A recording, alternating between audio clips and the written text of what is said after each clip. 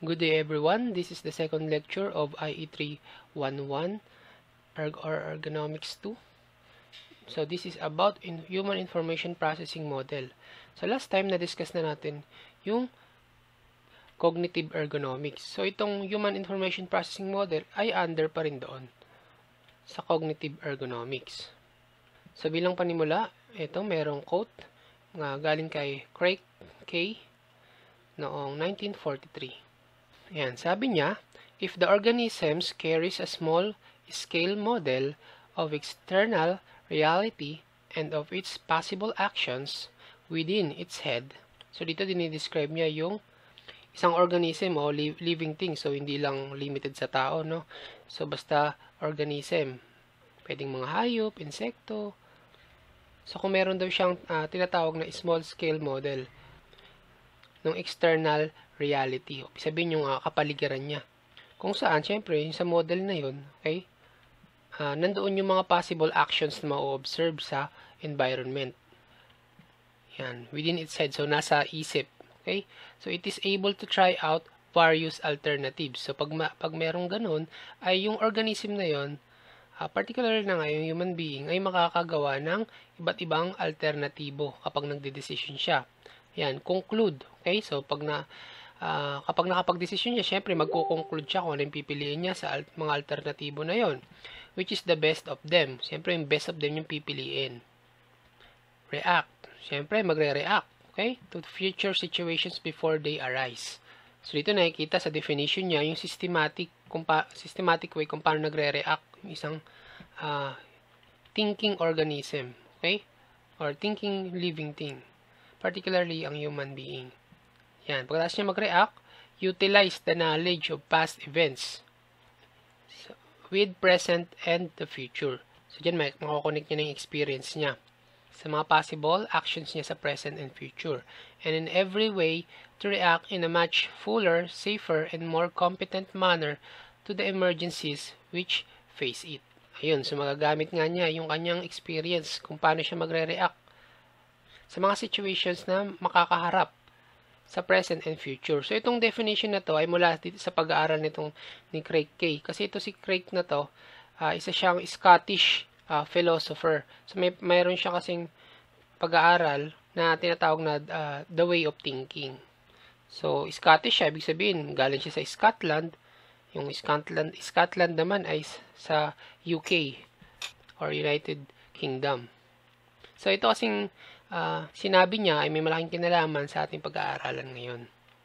Kasi pag-aaral natin ngayon kung paano ba mag-process ang human. Okay? Pa paano niya i-process yung information. At paano natin makikita yun sa isang model. Okay? Next is the need of a, of a model. So, ano ba, pa, bakit pa natin kailangan yung isang model ng pagpaprocess ng information ng mga human? So, human-machine interaction depends on a two-way exchange. Kasi nga naman, uh, yun yung pinaka-key concern natin yung human-machine kasi sa work natin, ayun yung pag-aaral natin yung interaction ng workers sa machine. So, meron siyang two-way daw of exchange of information between the operator and the system. Ibig sabihin, pag, pag sinabing two-way, mula sa operator papunta sa system, tapos mula system papunta naman operator. Okay? So, ano example dyan? O, halimbawa, syempre, operator, pag pinindot siyang button, syempre magre-react yung system. Halimbawa, uh, halimbawa, sa system ng isang machine, pag pinindot niya yung open, bubukas yung uh, opening ng machine. Tapos, yung machine naman, kapag nag-alert, halimbawa, uh, nag-alarm, sabihin may problema. So, maa-alert naman yung operator. So, two-way yung exchange of, exchange of information. Designers usually have detailed explicit models of machines and machine behavior that can be used to improve human-machine interaction. So, yung mga designers tayo, as industrial engineer, ay dapat magkaroon tayo ng tinatawag na explicit design, kumbaga detalyado. Okay? So, iwasan natin kapag gumawa tayo ng design ng human-machine interaction ay generalize. So, dapat uh, base yon sa uh, konkretong pag-aaral doon mismo sa workplace setting nung company na pinag-aaralan natin. And according to Priest, nung 1993, a general model of the user's cognitive process and cognitive behavior. O, cognitive pa rin siya kasi nga, yung human processing of information kasi under pa rin niya ng cognitive kasi ginagamitan pa rin niya ng uh, utak, okay? Or, or human brain. Yan. So, ito yung mga uh, pangangailangan. Bakit kailangan yung uh, general model? Okay? So, first is to provide knowledge about what can and cannot be expected of users. So, una yun sa lahat. Kasi kapag magbibigay tayo ng work, okay, o gagawa tayo ng uh, product, o magbibigay ng serbisyo, syempre, dapat alam natin kung paano magre-react yung customer doon sa produkto o serbisyo na ating dinesign. Next is identify and explain the nature and causes of problems.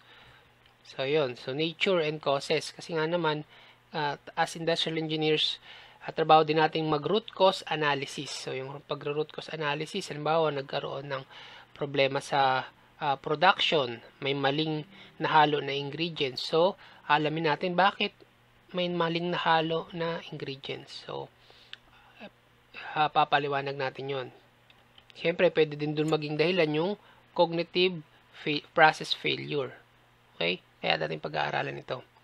Kasi minsan yung mga worker natin, uh, wala sa sarili kapag nagtatrabaho. So, malalaman natin yan. Next is supply modeling tools to help build more compatible interfaces. Ayun. So, uh, mag, yung general model kasi ng ng cognitive process and cognitive behavior na pag-aaralan natin ay makaka-provide yun as input doon sa gagawin natin o i-design natin na uh, more specific na ano model. Okay, halimbawa, pinili, 'di ba sa project nyo gagawa kayo ng uh, usability report. So doon that may maka, makikita yung uh, paggamit ng uh, model na ito, general model ng cognitive process kasi uh, hindi hindi natin pwedeng aprobahan yung paggamit ng isang produkto, serbisyo o hindi natin mai-evaluate yun kung hindi natin i-consider tong ano, uh, general model. Kaya itong general model na to magbibigay ito yan, ng tools para uh, makapag makagawa tayo ng more compatible uh, interfaces ng human machine and human and machine interfaces doon sa napili nating uh, setup work setup. Next is according to Reason 1990 so maraming pag-aaral ito guys. Ito naman galing kay Reason in broad terms daw the human information processing system or HIP in abbreviate can be thought of as a general purpose pattern recognizer So, bakit siya tinawag na ganoon? Ah, dito guys, ah, dito remember, pag sinabi mong system, ah, synonymous siya ng model. Okay?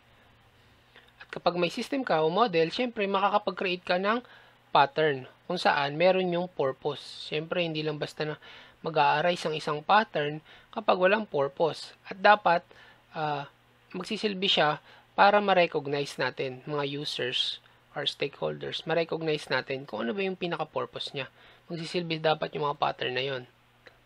Halimbawa, sa isang company, uh, napagpasyahan nyo, na, ano ka, isa ka sa management team, napagpasyahan nyo na dapat bago mag, uh, mag-umpisa ng trabaho ang mga about department, magsagawa muna sila ng tinatawag na toolbox meeting. So, yun. So, ano yung pattern? Okay? Ano yung uh, purpose nung toolbox meeting na yun? Okay? So, yung toolbox meeting na yun, bago magsimula, at saka uh, bago mag-uwian. So, ayun yung pinaka-pattern. Yung toolbox meeting bago magsimula magtrabaho at bago mag-uwian. Yun yung pinaka-pattern. So, dapat marirecognize doon sa ginawa natin uh, na implementation na yun kung ano yung purpose nun. Okay? So, halimbawa, ang purpose that malalaman ng workers yun tsaka ng mga department na ang purpose nun uh, bago magsimula, syempre, para uh, ma-recap o ma-review yung mga gagawin ng araw na yun. Tapos, bago naman sila mag-uwian, syempre, para uh, malaman kung na-achieve ba yung pinag-usapan nung nung bago mag uh, bago gumawa o magtrabaho. Tapos pag siyempre pag nalaman na may hindi na-achieve, eh dapat ma-achieve kinabukasan, okay? So ganun yung purpose. So kaya, kaya nga nagsisilbi yung uh, nagsisilbi yung gagawin natin itong uh, pattern para malaman yung purpose. Okay? Next is with limited information processing capacity. Siyempre, tao, human, so limited lang yung uh, magiging kakayahan para mag-process ng information. Kaya nga kapag bibigay tayo ng work o assign task sa isang worker, So, di ba, nabanggit natin yung nakaraan na dapat ah, limited lang, may certain number lang ng trabaho. Huwag natin pagsasabay-sabayin sa kanya kasi magkakamali. Lalaki yung chance na magkakamali yan. Okay? So, kailangan i-moderate natin yung pagbibigay ng work. Next is using heuristic rules of thumb to simplify the information processing load. So, yung kapag nandun na tayo sa uh, situation kung saan magbibigay tayo ng load ng mga uh, ipaprocess na information, Diba, nasa isa kang department, as manager ka nga, magbibigay ka ng gawain sa mga subordinates mo. So, dapat alam mo tong tinatawag na rules, rule of thumb. Okay, pag sinabi mo kasing heuristics, sabihin niya yung mga uh, logical decisions. Okay? Rule, rules of thumb na pag-aaralan natin. Para malaman natin kung paano ba uh, magbibigay ng loading ng information processing. Kasi mamaya, sa isa mong subordinate, kesyo uh, mabilis siya, binigyan mo ng maraming trabaho. Yung isa naman mabagal, konti lang. So, tama ba yun? So, malalaman natin kung ano ba yung tamang pagbibigay ng load sa uh, sa isa nating worker or subordinate. Okay? So, next is, and acting as a satisficer rather than an optimizer. Ayun kasi uh, minsan kasi nag-optimize tayo, 'di ba? Yun, yun naman lagi ginagawa natin lalo lalo sa OR. Optimize tayo ng optimize ng uh, mga processes pero minsan na left behind natin kung nasa-satisfy nasa-satisfy ba nung uh, in-optimize natin na system yung pangangailangan ng mga users. Kasi halimbawa, uh, yung yung isang system na optimize mo, yun pero meron kang na-overlook na isang uh, pangangailangan ng isang uh, customer kaya hindi siya na-satisfy. Kasi remember, halimbawa manager ka o supervisor ka, hindi lang naman yung customer na gumagamit ng product ng company, yung customer mo. Higit, higit una sa lahat, ang pinaka-customer mo dyan is yung mga katrabaho mo. Okay? O yung mga subordinates mo, kung paano ka mamalakad. Kasi mamaya, uh, gusto mo, optimize ka lang ng optimize, hindi mo napapansin na ano pala, napapabayaan mo na pala yung mga subordinates o workers mo. Sobrang na silang napapagod. Hindi sila nasasatisfy kasi customer mo din sila. Eh. Okay, so dap- dapat uh, maging familiar tayo dito sa human information processing system or model. Okay, para magawa natin yan ng maayos. Uh, sa information processing approach, okay, dito sa information processing approach, uh, ginagamit siya ng flow diagram. Okay? para makita kung paano ba yung brain na nagpa-process ng information. So dito, papansin nyo na yung mga stimuli, kusa siyang pumapasok doon sa sensory uh, sensory uh, sensory storage natin. No? So ang dahilan nun ay yung mga uh, sensors natin, yung paningin, uh, pandinig, pang amoy ay very at pandaman na rin, very uh, sensitive dito sa mga stimuli. Kaya kusa yung pumapasok dito sa ating sa senses. So, dito, pagpasok ng uh, information galing sa stimuli, yan, may store sa ating uh, store, sensor storage. Okay, so do, mula doon ay uh, papunta sa ating perception kung paano ba natin siya. So, pinaprocess yung uh, yung na-sense natin. So, yung pagpaprocess na yun, syempre, uh, base yun sa mga past experience natin, sa knowledge. Okay? So, napag-aralan natin yung nakaraan yan, di ba? Paano, paano ba tayo nagpe-perceive? Next naman is, uh, yun yung bubuo sa attention. Isa lang yun, yung perception. Okay, kasi nga naman, kapag yung perception mo sa isang trabaho ay uh, mahirap, kay baka tamarin ka na. Yung attention mo mawawala na. So, uh, under siya ng attention. So, next naman is, itong decision or ito muna, yung working memory. Okay? So, under din siya ng at- attention. Kasi kapag mahina yung uh, memory natin habang nagtatrabaho, so mawawala din yung uh, attention natin dun sa trabaho natin. Okay? Kasi nga naman, uh, imbis na uh, focus tayo sa trabaho, inaalala pa natin, okay? Yung nakalimutan natin kapag mahina yung working memory natin. Okay, tapos yan, may arrow pa dito, papuntang long-term memory. Okay, so pag na-process kasi yung bagay o yung gawain na pinag-a-attendan niya or nandun yung attention niya, Okay? Sa pamagitan ng working memory, may store yun sa long term. Okay, long term memory na na nakaka uh, apekto din sa perception kung paano tayo uh, tumi uh, mag-perceive. Okay, ano ba yung perception natin, yung paningin sa isang bagay. Okay, halimbawa nga dyan yung kanina, sinabi natin na yung isang trabaho ay mahirap. Okay, so mapupunta yun sa long-term memory natin, sabi natin, ay, itong trabaho na to, ito talaga yung ano, nagbabanat kami ng buto, kailangan maaga gumising. So, makakapekto sa perception mo, mo yun. Na, halimbawa, uh, dapat magawa ng uh, solusyon yun, yung mga ganoong trabaho, kasi na-force yung workers na mag-exert ng too much effort. So, yun yung, doon nag-arise yung uh, effect nung uh, nung process na yun dun sa perception. Okay? So, sa long-term memory, bumabalik din siya dito sa working memory. Siyempre, habang nag-work ka, maalala mo din yun yung mga uh, long-term memory mo. Okay? Then, eto, under din siya ng attention yung decision and response selection. So, pansin nyo dito, cycle siya. Okay, siyempre, habang nagde-decide, nagde-decide ka, o nagde-decide yung worker, naapektuhan siya nung uh, working memory niya. Okay? Tsaka yung mga uh, long-term memory na na-stored sa kanyang pag-iisip habang nagde-decide siya. Okay? So, next nun is response ex execution. So, yun na, pagkatapos siya mag-decide, okay, nakapag-select na siya kung paano siya magre-response, anong way, how to response, i-execute niya na yung response niya. Okay? Ayan. So, pagkatapos mag-response, siyempre, merong evaluation in the form of feedback naman. Okay?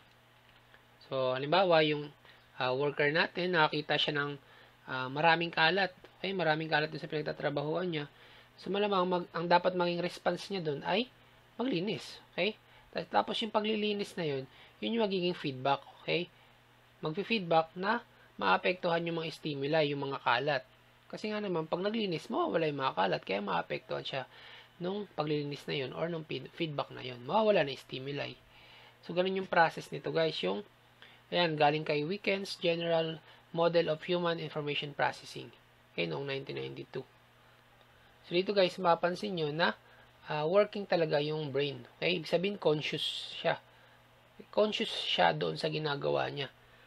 Okay, kasi ang, ang limitation kasi ng human brain kapag uh, hindi hindi nabibigay yung uh, full uh, capacity kapag hindi siya conscious dun sa ginagawa niya. So dapat ma-orient muna yung worker kung ano kung paano ba gawin yung uh, trabaho para ma-exert niya ng maayos itong process na to. So next, next is from sensation to perception. So describe natin yung uh, process na yun. So sensation occurs when environmental stimuli is bringing on an organism give rise to neur neural events. So, doon nagsisimula yung uh, sensation. Kapag nag-react yung uh, mga senses ng organism sa uh, mga stimuli. Halimbawa nga dyan yung uh, may naamoy na mabango. So, uh, so na-stimulate yung worker. Halimbawa, syempre kung mabango yung uh, kapaligiran niya, yung working uh, area niya, halimbawa na sa SM, So, malamig na, mabango, ma may air freshener pa. So, malamang sisipagin yung worker doon. Okay? So, uh, ganun yung pagre-react mula sa stimuli na yun. So, these events may or may not be processed further. So, ibig sabihin lang nun, depende sa decision nung uh, nung nakakuha ng stimuli, kung ipaprocess pa ba niya. Kasi mamaya, hindi naman kailangan i-process. Kasi may mga negligible naman. Halimbawa na lang yung pagbibiruan sa trabaho. Siyempre, hindi naman magre-react yung katrabaho niya. Alam niya, alam naman yung binibiro lang siya, di ba? Nung katrabaho niya. So, hindi siya makipag-away. So, yun yung tinatawag na hindi na ipaprocess yung stimuli na yon. Next is perce- perception is the construction of a model of the event that gave rise to the initial sensation. So, ayun. So, yung kung paano natin titingnan yung isang uh, bagay kung o yung isang sitwasyon na kinabibilangan, kinabibilangan natin. So, nagbibigay siya uh, uh, parang uh, model doon sa sitwasyon na yun. Kumbaga, meron na tayong larawan sa isip natin yung sitwasyon na yun. Okay? At base doon sa larawan na yun, doon tayo, uh, doon magmumula yung unang sensation. Halimbawa, uh, mainit yung working area syempre yung stimuli, yung, yung heat. So, ang tendency niyan, yung mga workers mo, uh, syempre, babagal sa pagtatrabaho yan kasi mainit, tatagaktak yung pawis. Okay? So, uh, ang initial sensation nila doon ay mainit at mahirap yung trabaho nila. Okay, yun yung magiging perception nila. So, the percept is not a replica of the external world, but a representation of it that depends both on the neural hardware and on the previous experience. So, yun nga, kung paano ba tayo tumingin sa mga sitwasyon na kinabibilangan natin, ay hindi naman talaga yun yung reality. Okay? Kumbaga, uh, yung perception na yun, naapektuhan kasi yun ng yan, neural hardware na tinatawag. Kasi mamaya, mahina, yung, mahina ka pala sa memorization. So, maapektuhan yun yung, ng perception natin. Tapos, yung experience mo din ay uh, hindi pala maganda doon sa situation na yun. So, yung, perce- yung perception mo nun, maapektuhan. Sabihin mo na, ah, mahirap yung trabaho na to. Okay, kahit naman sa totoo, madali lang pala. Kasi nga, base dun sa nakaraan mong uh, trabaho, na same lang doon, same kind lang doon sa kinaharap mo, doon sa present o future, ay nasabi mo na na mahirap kasi nga dahil sa experience mo. So, hindi naman talaga reality yon Nasa sensation lang, nasa perception lang yon kung paano tinitingnan. Kaya yan, isa, isang bagay din yan, mag-iingat kayo sa uh, sa mga workers natin kasi minsan, sinusubukan yan yung uh, galing natin eh. Sabi niya, sir, hindi kaya sir eh. Gaganon yun sa'yo. Na, sir, hindi po kaya gawin eh. Huwag kang magpapadala doon. Ikaw dapat yung mag-iimbestiga kung kaya ba talaga o hindi. Kasi minsan nagpapalusot lang yung worker. Okay? So, dito, sa table na to, pinapakita yung hierarchy of sensory and percep perceptual thresholds. Ayan, so dito, syempre, sa conceptual uh, categorization, okay, sabi-sabihin, uh, nagde-name ka. Halimbawa, uh, kinaklasify mo yung mga uh, mga trabaho kung saan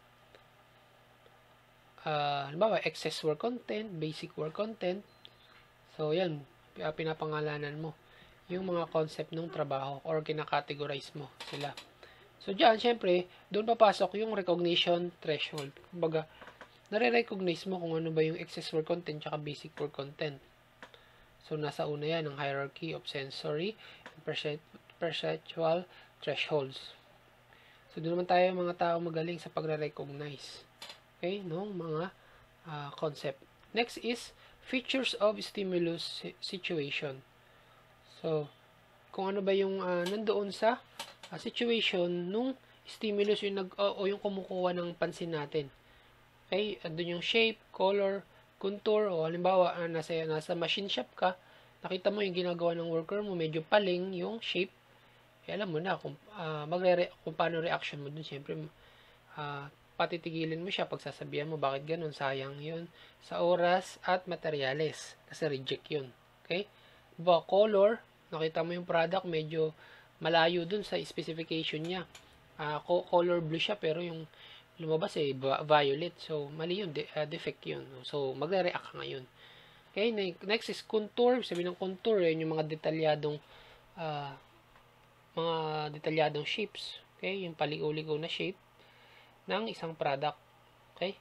So, yun identification kasi more on uh, particular particular characteristic na ito. Kumbaga na-identify mo kung ano ba yung uh, yung pinaka significant na features nung nakakatawag ng attention mo. Okay? O, halimbawa, gumagawa siya ng uh, gumagawa siya ng product, yung worker. Okay? So, tama naman. Tama naman yung ginagawa niyang product na iyata mo. Okay naman. Pero, hindi siya nakasuot ng PPE. Ba, gumagawa siya ng pagkain, eh, hindi siya naka uh, face mask, hindi rin siya naka hair, hairnet. Oh. So, doon ka ngayon, doon magpo-focus ngayon yung pag-identify mo ng mali. Okay, so pangalawa yun sa pagre-recognize, sunod ma-identify mo. Okay? Next is, itong sinasabi, something is there. Okay?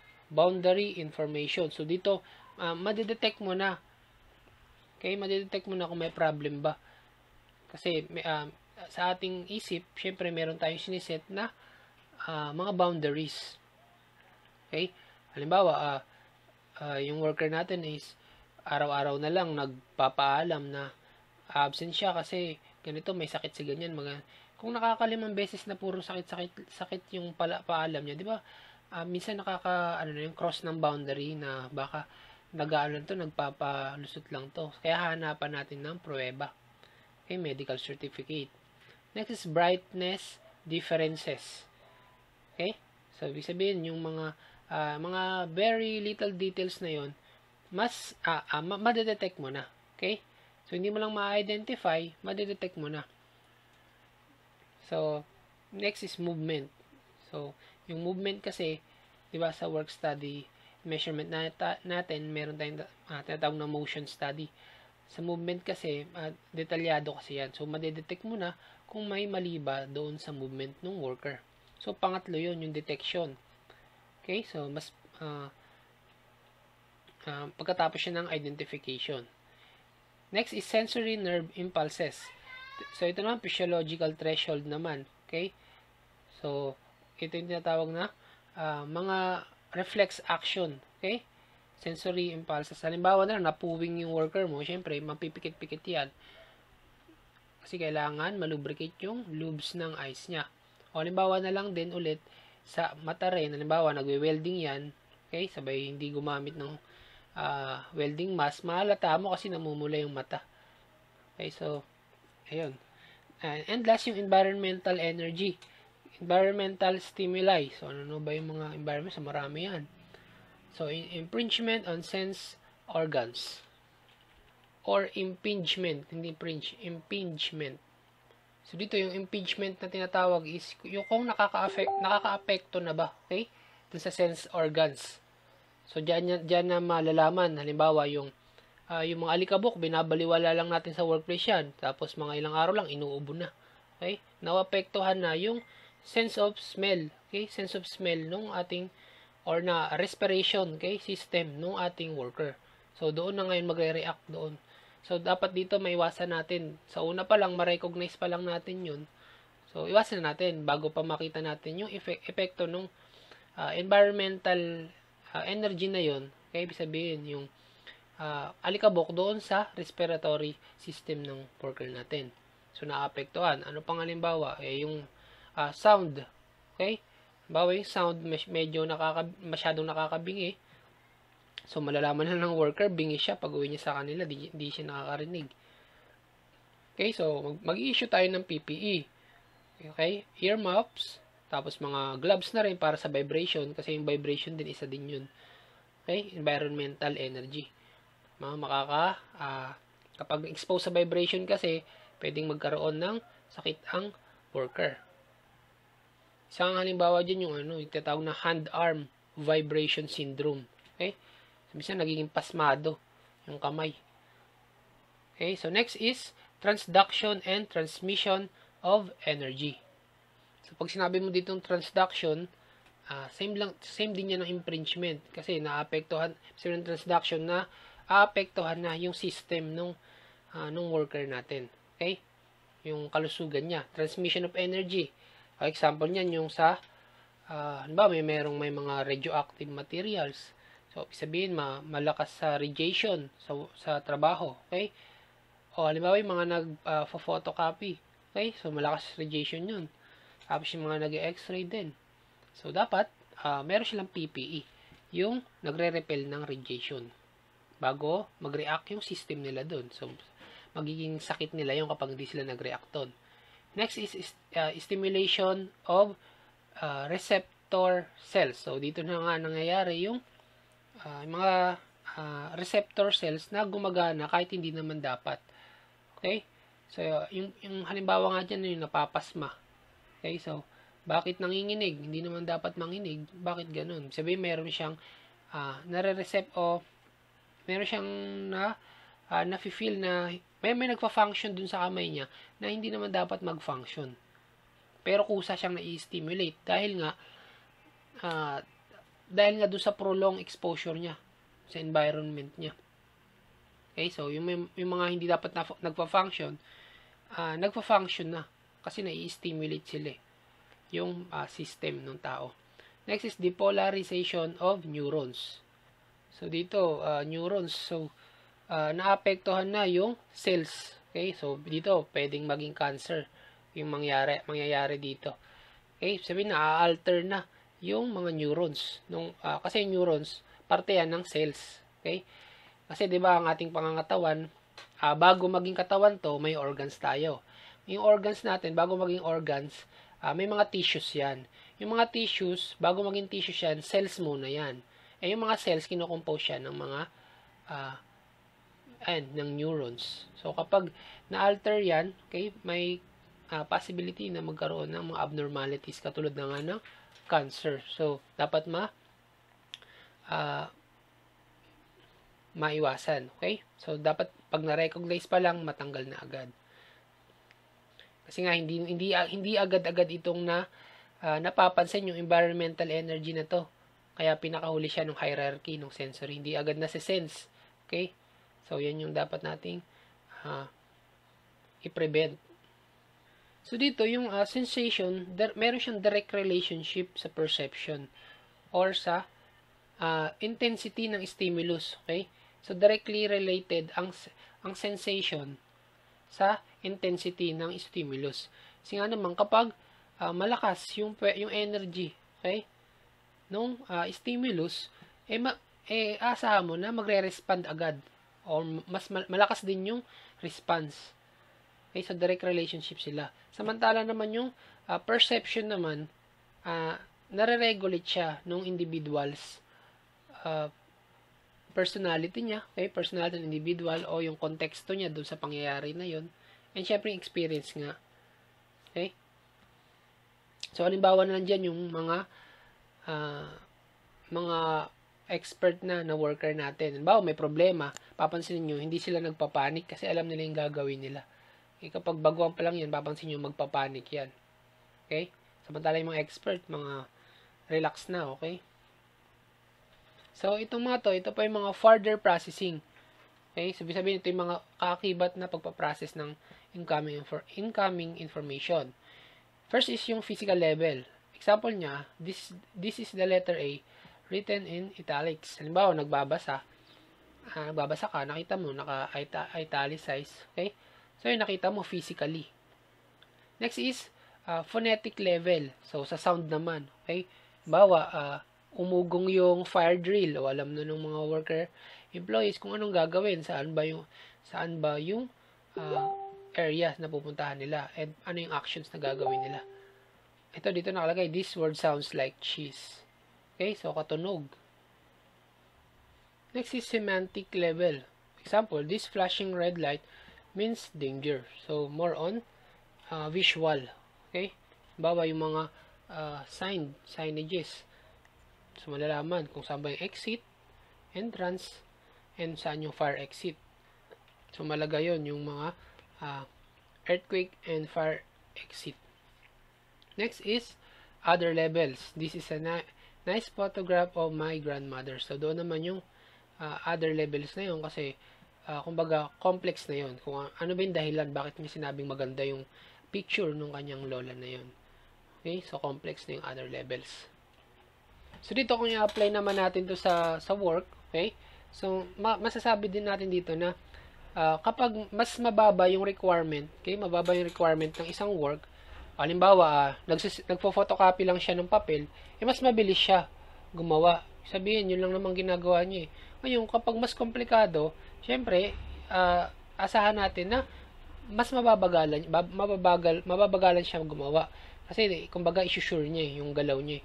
Kasi kapag, uh, kapag nagmadali siya, eh, magkakamali siya kasi mahirap nga yung uh, pinapagawa sa kanya. Halimbawa, habang nagpiprint, uh, may pinapagawa pa sa kanyang article. O, sabihin, article yun. So, letter. So, kailangan niya mag-isip doon. Hindi siya ganun kabilis. Maliban na lang kung uh, meron ng template. Okay? Sabihin, meron ng format na gagamitin. Ka-copy-paste na lang. Tapos, isa pa dito, kung yung stimulus, Okay? Sabihin, yung kumukuha ng pansin ng tao ay uh, malakas siya, malakas siya. Sabihin, consistent. Mga nakakatawag pansin talaga. Yung, uh, yung attention o yung sense ng tao, doon nakafocus. Okay? Halimbawa, halimbawa na lang dyan yung uh, sa mga sasakyan. Okay? Di ba kapag nakabukas yung mga lights nila, headlights, kumbaga, makikita agad sa daan. Ngayon, kapag nakapatay yun, eh, may chance na hindi sila makita ng kasalubong nila. Kaya nga sa ibang bansa, uh, katulad ng US, yung ibang U, uh, US state doon, nare-require nila na yung mga sasakyan nila ay gagamit ng headlights o nung lights dun sa sasakyan kahit umaga kasi 'di ba kapag umaga hindi naman gumagamit ng ilaw sa sasakyan. So sa ibang states sa US nire-require nila kasi nga para uh, masigurado yung yung safeness, okay? Safety ng mga nasa kalsada. So ano pang example, hindi lang naman yung sa uh, sa light. So pwede rin maging example yung arrangement. Okay, arrangement ng mga uh, materials and equipment sa ating workplace. Halimbawa, kapag yung worker natin, nakita niya, kalat-kalat, okay, kalat-kalat yung uh, mga materials. So, ang iisipin niya, uh, ah, mahirap tong gawin na trabaho na ito kasi ililigpit, ililigpit ko pa at kukunin ko pa yung tools doon sa malayo. Okay? So, yun yung magiging uh, response niya doon. Ngayon, kapag gumawa kayo ng paraan, halimbawa, nagkaroon kayo ng mga toolbox, kung saan ginagawa na mismo yung uh, yung trabaho niya. Hindi niya na, hindi na siya pupunta dun sa kabilang building para kumuha ng tools. Kumbaga, may meron dong malapit na tools. Okay? So, ang magiging response niya yan ay mapapadali yung trabaho niya. Okay? So, yung mga stimuli na yun, uh, isa na isa yun. Okay? Isa pang halimbawa dito yung pag-arrange ng mga uh, finished products. Okay? Siyempre, yung pinaka uh, lalabas na sa company o i-deliver na, siyempre, dapat yun yung nasa uh, bungad. Okay? Kasi kapag i-deliver na, hanapin mo pa dun sa pinakadulo. So, dapat yung arrangement nun, uh, pwede kayo mag-utilize ng first in, first out. Okay? So, pag, kapag nakita yun ng worker o nung delivery man, kumbaga, uh, pag binigyan mo siya ng instruction, ay, yung product na ganito kunin mo, yun yung i-deliver. Alam niya na agad kasi nasa bungad eh. Hindi yung hahanapin pa niya dun kung saan. So, isa yun sa pagsiset ng uh, stimuli, stimulus. Okay? Stimuli. Para madaling ma, uh, malaman nung worker natin. Next naman, itong tinatawag na banner blindness. So, banners are distinctive percep perceptual objects located on web pages to help users orientate themselves during search. Okay? So, yung definition na yan is applicable doon sa uh, online searching. Okay? Pag nag-research uh, kayo online, so yun yung banners na tinatawag. Para makatulong doon sa mga users sa kanilang pagsisearch para alam nila kung tama ba yung napuntahan nilang site. Next is, according to Benway, 1998, these banners are often missed by web users, particularly when they are placed on top of the web page. So, namimiss daw yon kapag yung banner ay nasa taas ng web page, away from the links at the bottom. It seems that people don't just look at web pages. They look for things to click on, and if banners are distant from links, or cannot be clicked on, their presence is not registered. So, ganun daw yung naka-register sa uh, sa isip ng tao, okay? So, ma, kumbaga tumitingin tayo dun sa may pwedeng ma-click, okay? Sa may, sa may mga link. Ibig sabihin, pag yung banner ay wala namang link yun kasi nga uh, visual lang siya, so hindi na natin napapansin yun. Kaya itong tatawag na banner blindness illustrates how it is possible to look at something but not see it. That is processing never gets beyond the lower stages of the hierarchy in table 12.1. So, ibig sabihin nito, yan nga, dahil hindi natin napapansin yung banner, okay? So, isang example yon nung yung pagtingin sa isang bagay kung saan hindi natin napapansin. Kaya sinasabi dito, yung processing, okay, processing noon ay hindi uh, hindi ano pupunta beyond the lower stages in hierarchy. Dito sa table na to balikan natin. To, ibig sabihin, dito pa lang kasi sa recognition, hindi na hindi niya na, niya agad na recognize eh. Okay? So hindi na siya makakapunta dito sa uh, lower part yung environmental energy. Okay? Kasi dito pa lang hindi niya na uh, hindi pa hindi niya na na-recognize yung object. Ito yung uh, figure 12.2. So, ito yung example. Ito yung pinaka-banner niya, yung new. New Introduction to Ergonomics. Okay? Tapos itong sa taas din, books from Taylor and Francis. So, banner blindness occurs when people look at web page. So, ano ba, web page to? But don't see the banners. So, hindi nila to napapansin yung nasa taas. Ito lang yung i-click nila, engineering, psychology, medicine. Kasi, yun lang yung merong links. Okay? So, ibig sabihin, didiretso na sila dyan. Siya ay ayon kala uh, Ben Wayne 1998. So, anong example nito sa workplace? O, isang example na nga nito is yung literal na pag, uh, pag, uh, paggawa ng mga banner o mga writings of instructions. Okay? So, halimbawa, nasa area ka ng uh, production kung saan kailangan panatilihin yung pagsusuot ng personal protective equipment. So, dapat may, may nakalagay doon na banner kung saan o kaya slogan kung saan uh, sinasabi doon na always wear your hard hat, okay, or your face mask, or ear muffs, muffs. And dapat yung mga uh, mga signs na yun ay nandoon mismo sa area. Kasi pag malayo yun sa area, hindi mapapansin yun. Uh, doon na matutuon sa area. Andun na yung attention sa area. Pero yung nakasulat, kung hindi oriented na uh, naayon doon sa pagtingin nung worker na papasok sa area, halimbawa, nasa bandang likod, eh, papasok siya, hindi niya makikita. So, dapat tama yung pagkakalagay. O, ano pang example niyan? O, halimbawa na lang yung mga controls. Halimbawa, nag-design kayo ng mga controls, tapos, nilagay nyo uh, yung mga controls ng isang machine in such a way na kailangan pang tanawin, okay, tanawin ng worker or ng operator yung mga signals. Ibig sabihin nun, ay iiwan pa nila yung controls, tapos hahanapin pa nila yung signal. So, dapat, mainam dito, kung nasaan yung mga controls, andun na rin yung mga signals. Kasi may tendency na uh, ma-ignore nung, nung operator yung signal. Dumiretso na siya dun sa pagkocontrol. Okay? Next is coding. Ano yung coding? Only a fraction of the information impinging on the senses reaches conscious awareness. So, ibig sabihin, hindi lahat ng uh, mga information na nakakalap ng ating mga senses mula sa mga stimuli, stimuli ay nakakaabot doon sa conscious awareness natin. Example dyan is yung uh, prolonged exposure doon sa environment. Halimbawa, nagwo-work. Ako dati nagwo-work ako sa paggawaan ng feeds. So, nung unang pasok ko pa lang doon, nababahuan ako sa amoy ng, uh, ng feeds. Kasi hindi ako sanay. E nung tumagal na, parang normal na hindi ko na siya naamoy. Lalong-lalo na yung mga first-hand worker doon, doon kasi sila mismo yung mahawak ng mga ingredients, okay? Tapos yung mga nagbubuhat ng feeds. So yung amoy ng feeds, feeds ay kumakapit sa mga uh, mga damit nila, okay? Kaya nga minsan sinasabi doon na uh, yung mga nagwo-work doon sa uh, sa feed mill, hindi nila naamoy yung sarili nila. Kaya minsan pag sumasakay sila ng sasakyan, ng jeep, naamoy sila ng ibang tao pero sila immune na sila dun sa amoy na yun. So yun yung example niya ng uh, information impinging. Ibig sabihin, uh, yung amoy na amoy feeds, pumapasok yun kay sa senses na pumapasok sa uh, sense of smell yun nung uh, nung worker kaya nagtatrabaho dun sa feed mill na, na meron direct contact dun sa mga feeds. Pero hindi yun umaabot sa consciousness niya. Okay? Kasi ibig sabihin lang nun, uh, immune na yung pangamoy niya, parang normal na yung amoy na yun. Uh, walang dapat ikabahala, ganun yun. So next, as soon as environmental energy impinges on the senses, it is transduced. So pag sinabi mo kasing transduced, ibig sabihin kino-convert.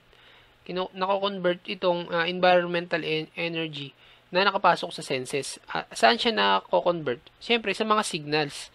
Okay, through the nerve. Si-signal niya ating um, ang ating utak, tapos yung utak naman magsisignal back naman dun sa mga uh, responsible parts ng katawan. Okay? So, distorted and coded. Well, distorted, ibig sabihin yan, uh, nawawala doon sa dati niyang uh, shape or framework. Okay? Kasi inaayon nga doon, yan ginagawang code ng ating system by the very processes that transmit it to the higher centers of the brain. Okay? So the concept of coding is central to the information processing approach. So parte siya, malaking uh, center siya okay, nitong tinatawag na information processing approach ng ating brain. To use an analogy, okay, with computing, data are often coded in some way before being entered into the machine. So names names might be abbreviated. So ganoon na nga para maging analogy doon sa pag uh, coding ng system natin. 'Di ba? Minsan kapag nag-encode tayo, ina-abbreviate natin. So, ganoon din yung ginagawa ng system. Um, according to the requirements of the software. Okay? So next is having been entered and stored in some way, the coded data can then be operated on by prog program. So yun yung ngayon ginagamit ngayon ng mga coded uh, yung coded data ng program para mag-run. Kaya yun yung nagiging sil nagiging uh, dahilan para mag-run o mag-process yung program.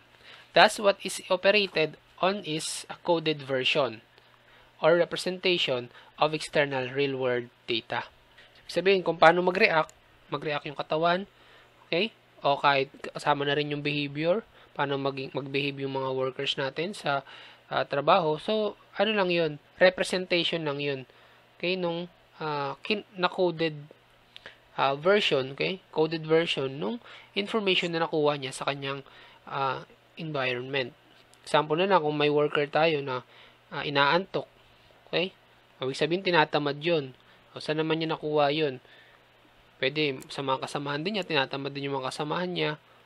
O kaya, uh, hindi sapat yung tulong ng management. Okay? Kulang yung instruction. Okay? O halimbawa, wala pang sahod. So, pinaprocess yun ng system natin. Tapos, yun, through the, uh, lumalabas yan sa real world through the uh, code, coded version nung na-process na data na yun. So, yan, pwede nating gamitin itong principle na to sa pag-unawa sa ating mga workers. So, sa pag-root cause analysis, kung, kung may problema, kung bakit siya ganun, bakit ganun siya mag-behave. Okay? Siyempre, dito gagamitin natin ng logic kasi mamaya, wala namang kinalaman yung reason niya. Okay? Halimbawa, o bakit ka late? Ang reason niya is, Sir, traffic po eh. Eh, hindi pa pwede yun kasi uh, wala namang kinalaman yung traffic sa pagpasok niya. Hindi eh, dapat inagahan niya. Pero syempre, it depends in the situation pa rin. Okay, kung uh, kung first time pa lang naman niya yung ginawang reason, eh okay lang yun. Eh. Pag nauulit-ulit na, yun na hindi, hindi magiging okay. Kasi ibig sabihin lang nun na na-implemensyahan siya ng paligid niya. It's either hindi mahigpit yung management sa kanya, kaya gano'n nagpapalusot lang, at meron pang ibang dahilan. Okay? So, ito magagamit natin to sa pag-interpret ng behavior ng worker sa uh, workplace. Next is coding and recognition. So, paano sila magdagpo-function? Since cognitive processes act on percepts, so ibig sabihin ng percept, uh, yung nakikita, okay, from the word perception. Okay? Uh, doon nag-act, okay, doon nag, uh, nag-arise yung tinatawag nating cognitive process nga natin, doon sa nakikita. O, nasi-sense. Okay? So, not on stimuli, kasi pag sinabi mo kasing percepts, ah, nahaluan na yan ng interpretation. Okay? Interpretation nung tumitingin. Pag sabi mo ng stimuli, yun, yun lang yung nagbibigay or nagtitrigger, yung object na nagtitrigger para mangyari nga itong perception. Pero, yung sa perception kasi marami pang factors dyan. Okay? So, dyan nakadepende sa percepts. The way, the way the system codes a stimulus determines what can or will follow. So, yun yung mangyayari yung magaganap nga na coding, okay? Part, yun, part din kasi ng interpretation ng uh, system natin dun sa stimulus.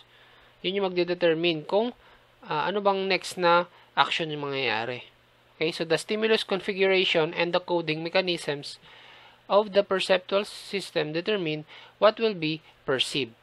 So, ibig sabihin, nakadepende rin doon sa uh, orientation o configuration ng stimulus. Tsaka yun sa coding mechanisms ng perceptual system ng tao. O example dyan is, halimbawa sa uh, sa office, okay? Siyempre, kalimitan yung mga office uniforms, halimbawa pag babae, siyempre, uh, ina-expect na may, uh, may mga nakapalda, okay? Halimbawa, yung, yung uniform na yun, yung nagiging configuration, okay, na stimulus. Halimbawa, meron doon nagtatrabaho na Muslim. Okay, so para sa kanya, ah, hindi maganda yon yung ganung uh, uniform. Kasi nga, di ba, pag Muslim, dapat balot na balot. So, yun naman uh, ang magsiserve as coding mechanism. Kumbaga, nakadepende yun dun sa coding mechanism of, oh, paano ba kinocode nung taong tumitingin. Okay? So, naintindihan kung ano ba yung example ng stimulus configuration tsaka coding mechanism. Kasi doon, doon nga, nakade, uh, nakadepende. Okay? Kung ano yung makikita o mape-perceive ng individual. Next, memory also plays an important role. So, yan. So, this has major implication in ergonomics, particularly in display design. Kasi kapag gumagawa tayo ng display design, gusto natin yung uh, display na yun is tatatak sa memory nung, syempre, ng customers. Paano, at paano yung tatatak? Pwede tayo guma- gumamit ng mga past events. Okay? So, re-recall natin through our memory. Kaya nga ngayon, usong-uso yung mga, sa mga advertisements, di ba? May, uh, may mga kwento. Okay? Kasi nga naman, mas effective yung design nung adver- advertisement kapag may inaalala through the memory. Ay, nakaraan, ganyan, ito nangyari sa kanila. Ngayon, ito na. Diba? So, pag may mga ganung factor, mas naaalala.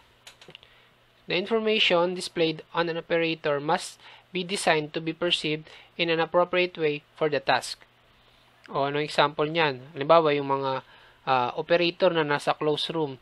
Ngayon, kailangan nila ng uh, data input mula doon sa ibang operator para mag-go kasi kalimitan sa production kaya nga tinatawag na production line. Sunod-sunod yan. Kapag, kapag yung isang, uh, isang station uh, nag-go, syempre hintay ng station to yon. Pagdating sa kanya ng product, siya na ngayon yung ano, kikilos. Tuloy-tuloy, tuloy-tuloy yun. Lalong, lalong lalo na sa mga mass production. Okay? So, sa mga operator kasi, kailangan nila ng communication. Yung iba kasi, uh, hindi pa nag-utilize ng uh, good communication device. Pwede rin telepono, okay? Tat magtatawagan dun sa mga naging trabaho ko. Kada uh, operating room, okay? Andun yung mga operators ng machine, meron silang mga uh, telepono. Pero mainam din yung yung mga radyo, okay? Kasi pipindutin mo na lang at saka handy siya. Yun nga lang, ang problema sa mga radio, di ba? Kailangan i-charge mo pa. Pag telephone kasi, naka-fix lang siya. Okay? Nakasaksak lang siya. So, ganun, uh, effective yung ganun, may, may, may communication from each other. Kasi nga, uh, kung lalabas pa yung operator, pupunta pa siya dun sa labas, may pag-usap dun sa operator sa kabila, may hirapan. So, hindi siya nakadesign doon sa task. Kasi, ang, ang kalimitan na dinidesign na task operator, dapat focus siya dun sa mga controls. So, yung mga movement, paglabas, okay, iwasan natin yung kaya gumagamit nga tayo ng mga device. Okay, para sa communication.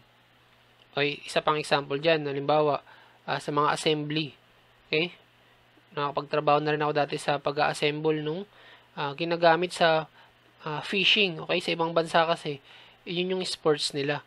Yung fishing ang sports. Dito kasi ginagawa, kinakain yung nahuhuli. Doon, sports pala yung fishing sa ibang bansa.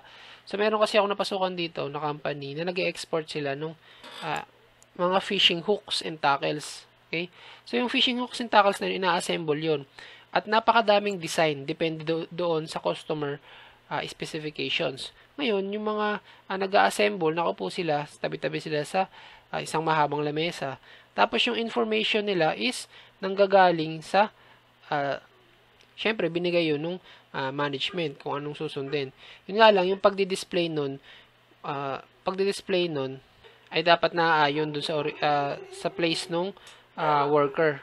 Kasi na may napansin din ako doon minsan na uh, nag nagsi-sharing pa nung, nung isa lang yung print kaya ito gagayahin nyo isa lang eh napakadaming gumagawa di ba? So nagpapasahan pa sila. Dapat maraming piniprint para nakikita lahat. Then that naka-post dun sa harap nila para titingnan na lang. At isa pang uh, na, nakita ko rin doon meron doong uh, isang task na uh, mahirap gawin kasi walang wa hindi naman wala may uh, kulang kay kulang ng device. Okay kasi meron dong isusuksok na part kung saan kailangan pa ng uh, isang tool. Eh, para siyang nipper na tool eh. Eh, isa lang yung meron doon sa, sa line na yun. So, tumagal, tumagal pa yung uh, yung process, okay? So, dapat kompleto. Kung ano yung binibigay na instruction, dapat kung paano gawin yung instruction na yun, nandun din yung, nandun din yung mga device. Okay? Kasi yun yung isang paraan, paano um, ma, ma, magagawa natin na appropriate, okay? Appropriate yung uh, disenyo ng pagdi-display ng mga information doon sa gawain ng uh, worker. Kasi maghahanap pa ba siya ng, ng tools? Siyempre, hindi na siya dapat maghahanap ng tools. Ready na agad.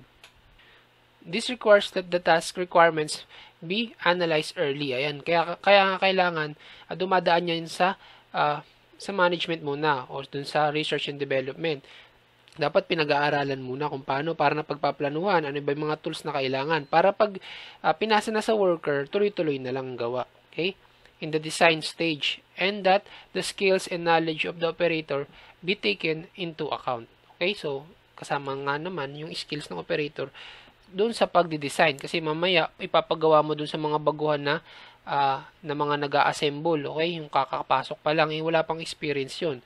Tapos yung ipapagawa mo pala is masyadong masalimuot, okay? O complex yung design. So, lalo, ang mangyayari niyan, magkakamali yun, maraming mare-reject na product. Okay? So, cost yun sa company.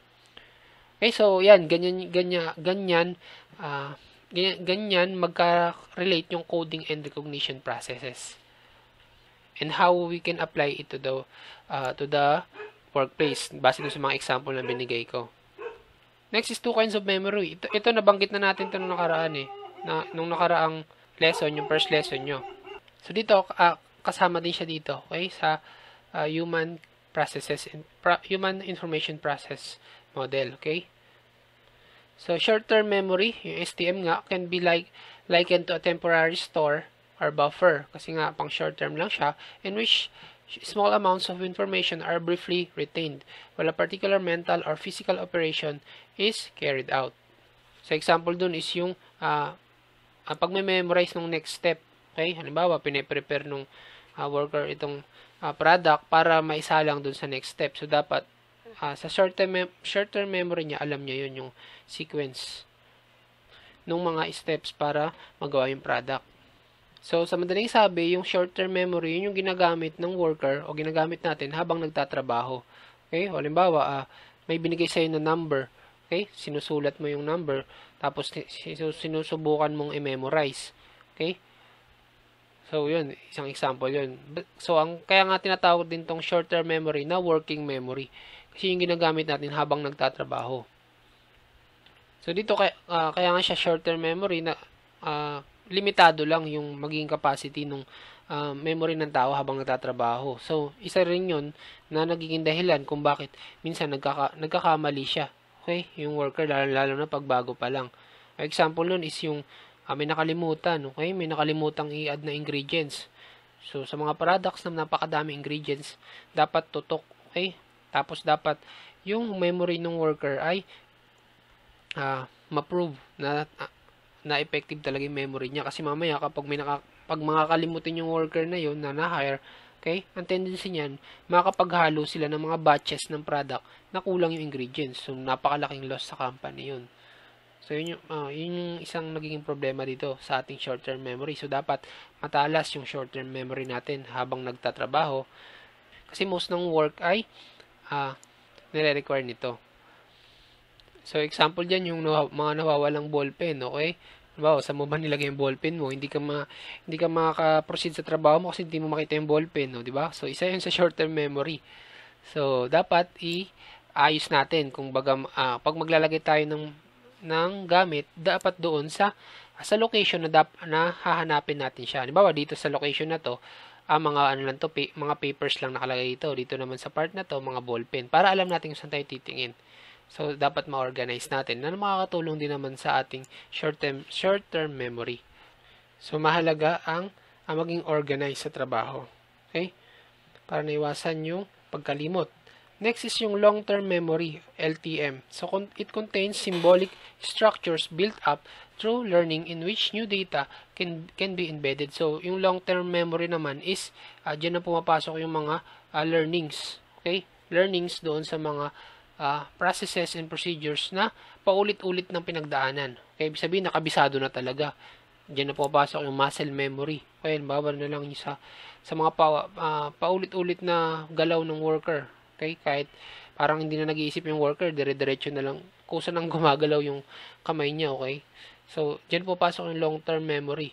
O example pa ng, ng long-term memory dyan is yung uh, pag napunta ka sa customer service. Okay, customer service department. O syempre, alam na alam mo na yung mga policy. Okay, yung mga actions, uh, actions to take kapag ganitong situation. So, hindi ka na magbabasa, hindi mo na hagilapin pa, di ba?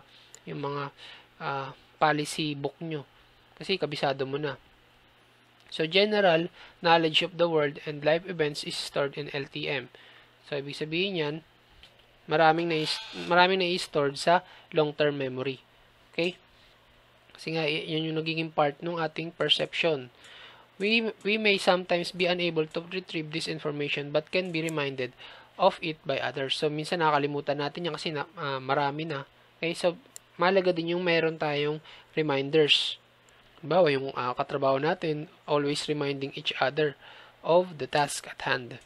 Example pa niyan is yung mga uh, yung mga tinatawag na uh, Kanban board sa trabaho. Kaya pag sinabi mo kasing Kanban board, doon nakalagay kung ano yung ano yung ginagawa. May nakalagay kasi doon uh, to, uh, to do, kaya yung gagawin, to do. So, nakalist doon ng mga gagawin. Sumunod, doing, okay, para nabivisualize ba ng lahat at nare-remind na rin. Ito yung mga ginagawa, doing. Next column, nakalagay naman done. Okay, ibig sabihin, yun yung mga nata natapos na yung mga milestone na na-achieve. So, yung kan Kanban board na tinatawag, mahalaga yan sa sa workplace. Okay, para na nakikita, isang tinginan lang nung lahat nung nag involve dun sa department na yun, kung nasa na ba sila, kung umuusad ba yung department nila. Okay? So, uh, good, good example yun ng pagre-remind. Okay? Next, evidence that LTM storage is more or less permanent. So, nakadepende pa rin yun kung uh, uh, nare-remind tayo. Okay? Kasi nga naman, may mga bagay talaga tayo na kakalimutan. Okay? So, LTM is associative in, in nature. New data can be represented in the context of past behavior, but this takes time. Yun na nga. So, kung, uh, kung paano natin ini-store yung new data, nakabase din yun dun sa mga past experiences natin. Okay? Bawa, dati, uh, big deal pa sa atin yung uh, pagsisimangot ng mga uh, kasamahan natin sa trabaho, di ba? Naku, nakasimangot ba yun? Nakasimangot. Ngayon, parang normal na lang, okay? Bawa, uh, dati, uh, takot na takot ka pa kapag uh, pinapatawag ka sa office ng boss mo. Okay, ngayon, uh, uh, hindi ka natakot, okay? Kasi alam mo, ginagawa mo naman yung tama. So, ganun yun. Depende yun sa ano ba yung na-experience na natin. So, next naman, itong figure na ito, pinapakita dito yung relationship. Okay? Relationship ni, ng perception ng tao, tapos yung short-term memory, yung long-term memory, tsaka yung operation na rin ng mental programs or processes. Okay? So, dito, ito yung mga sensory codes, okay, na pumapasok doon sa ating memory. Okay, tapos yung working memory naman, siya na yung working memory, 'di ba, siya yung nagsisilbing uh, tinata- tinatawag siyang LT uh, ah, STM, short term. Okay, short term memory, yung working memory. So, yan ina-allocate niya para sa mental operations. Tapos pag na uh, na-process na mental operations, babalik din sa kanya 'yon kung paano naman niya uh, tatandaan, okay? Example niyan yung sa process merong sequence, okay? So that uh, papasok yung, yung sequence na yun ng procedures sa mga pamamagitan ng sensory codes. Halimbawa, uh, titingnan niyo mga alerts through uh, through sight. Okay, titingnan niya kung pula na ba o yung alert o nagiging green. Pag green, okay lang, diretso. Pag pumula, i-stop niya. So, naka-code na yun. Okay? Coded na yun. Papasok ngayon doon sa uh, me- memory, short-term memory nung nagtatrabaho na tao. Okay? Ngayon, uh, ipaprocess niya ngayon sa mental operation niya yon it's either iisipin niya, ah, dalawa lang naman yung kulay, eh. uh, green tsaka red lang naman, kaya hindi ako malilito nito. Yun, yun lang dapat ang tatandaan ko. So, ngayon, yung instruction na yun na ganun, okay, eh, papunta ulit sa short-term memory niya. Yun yung pinakatatandaan niya kasi dalawa lang naman. Okay? Okay? So, next naman is, siyempre, pupunta rin yung sa long-term memory. So, ibig sabihin, kapag nakakita siya ng green, ibig sabihin, processing yun. Pag nakakita siya ng green, uh, na kulay, na alert, sabihin, processing yung machine. Tapos, pag nakita naman siyang red, ibig sabihin, nakastop yun. Okay? So, ganyan yung magiging orientation niya ngayon. At syempre, naapektuhan din niya in return yung working memory. Okay? Kasi mamaya mapunta siya sa ibang department, nakita niya rin yung observation na yun. Eh, yung magiging expectation niya. Okay? So, ito ay new information is kept in memory. So, napunta sa memory by the action of mental operations such as rehearsal and stored in LTM. Okay? So, ibig sabihin, nire-rehearse pa o, syempre, uh, sinusubok pa kung totoo ba yung information na yon. O, bago ma, uh, pasok na sa LTM, sabihin, oy, tama na ito, proven and tested na information na to. So, dapat pumasok na ito sa long-term memory. Tatandaan na dapat. Next, information in LTM can be written to working memory to be operated on. So, doon na mismo kumukuha yung short-term memory natin sa long-term memory ng mga inputs o ng mga instructions kung paano uh, masusustain yung process. Okay? So dito, uh, yung sensitive kasi dito talaga is yung short-term memory or working memory. Okay? Kasi easily distracted yan eh. Halimbawa may mga uh, distractions sa paligid, Bawa may maingay, okay? So nawawala nawawala sa sa truck yung nagtatrabaho kasi naiingayan siya o kaya nababawan siya sa paligid niya. So dapat yung mape-prevent natin yung pagkawala ng focus o ng uh, pagkahina ng memory. Mga, yung mga distractions na yun. So dapat kapag may nagtatrabaho na wala yung mga distractions na yun para focus siya doon sa ginagawa niya, ma-enhance yung working memory niya para maiwasan yung pagkakamali. Pero may isang uh, kalakasan din naman itong working memory eh, or yung STM. Kasi nga dahil temporary lang siya, okay? So, so pagkatapos niyang gawin yung process, so halimbawa, o oh, itong batch na to, tapos na to. Na next month na naman natin ulit gagawin to. So, at kakalimutan na ulit ng operator yung process na yun. Ibig sabihin, mare-refresh yung utak niya. Kung saan, handa na ulit siyang uh, kumuha ng bagong instruction para dun sa panibagong batch na meron naman panibagong instruction. Kasi nga naman, uh, kapag simultaneous ginawa yun, yung dalawang instruction na yun, mahirapan yung operator. Okay? Depende lang kung marami kayong operator na pwedeng i-assign.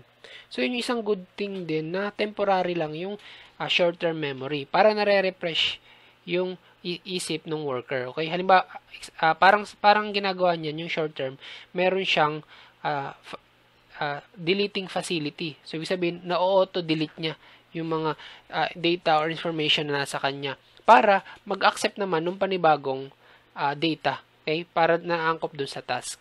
So yun yung isang kagandahan din ng short-term memory.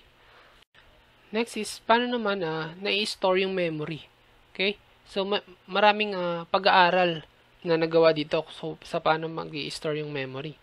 Isa nga dito yung pag-aaral ni Peterson noong 1959. Okay, so ito yung uh, na, nakuha niya. Yung probability of correct recall, kasi meron siyang pinapakabisado eh. Okay, was found to diminish as the retention interval increased.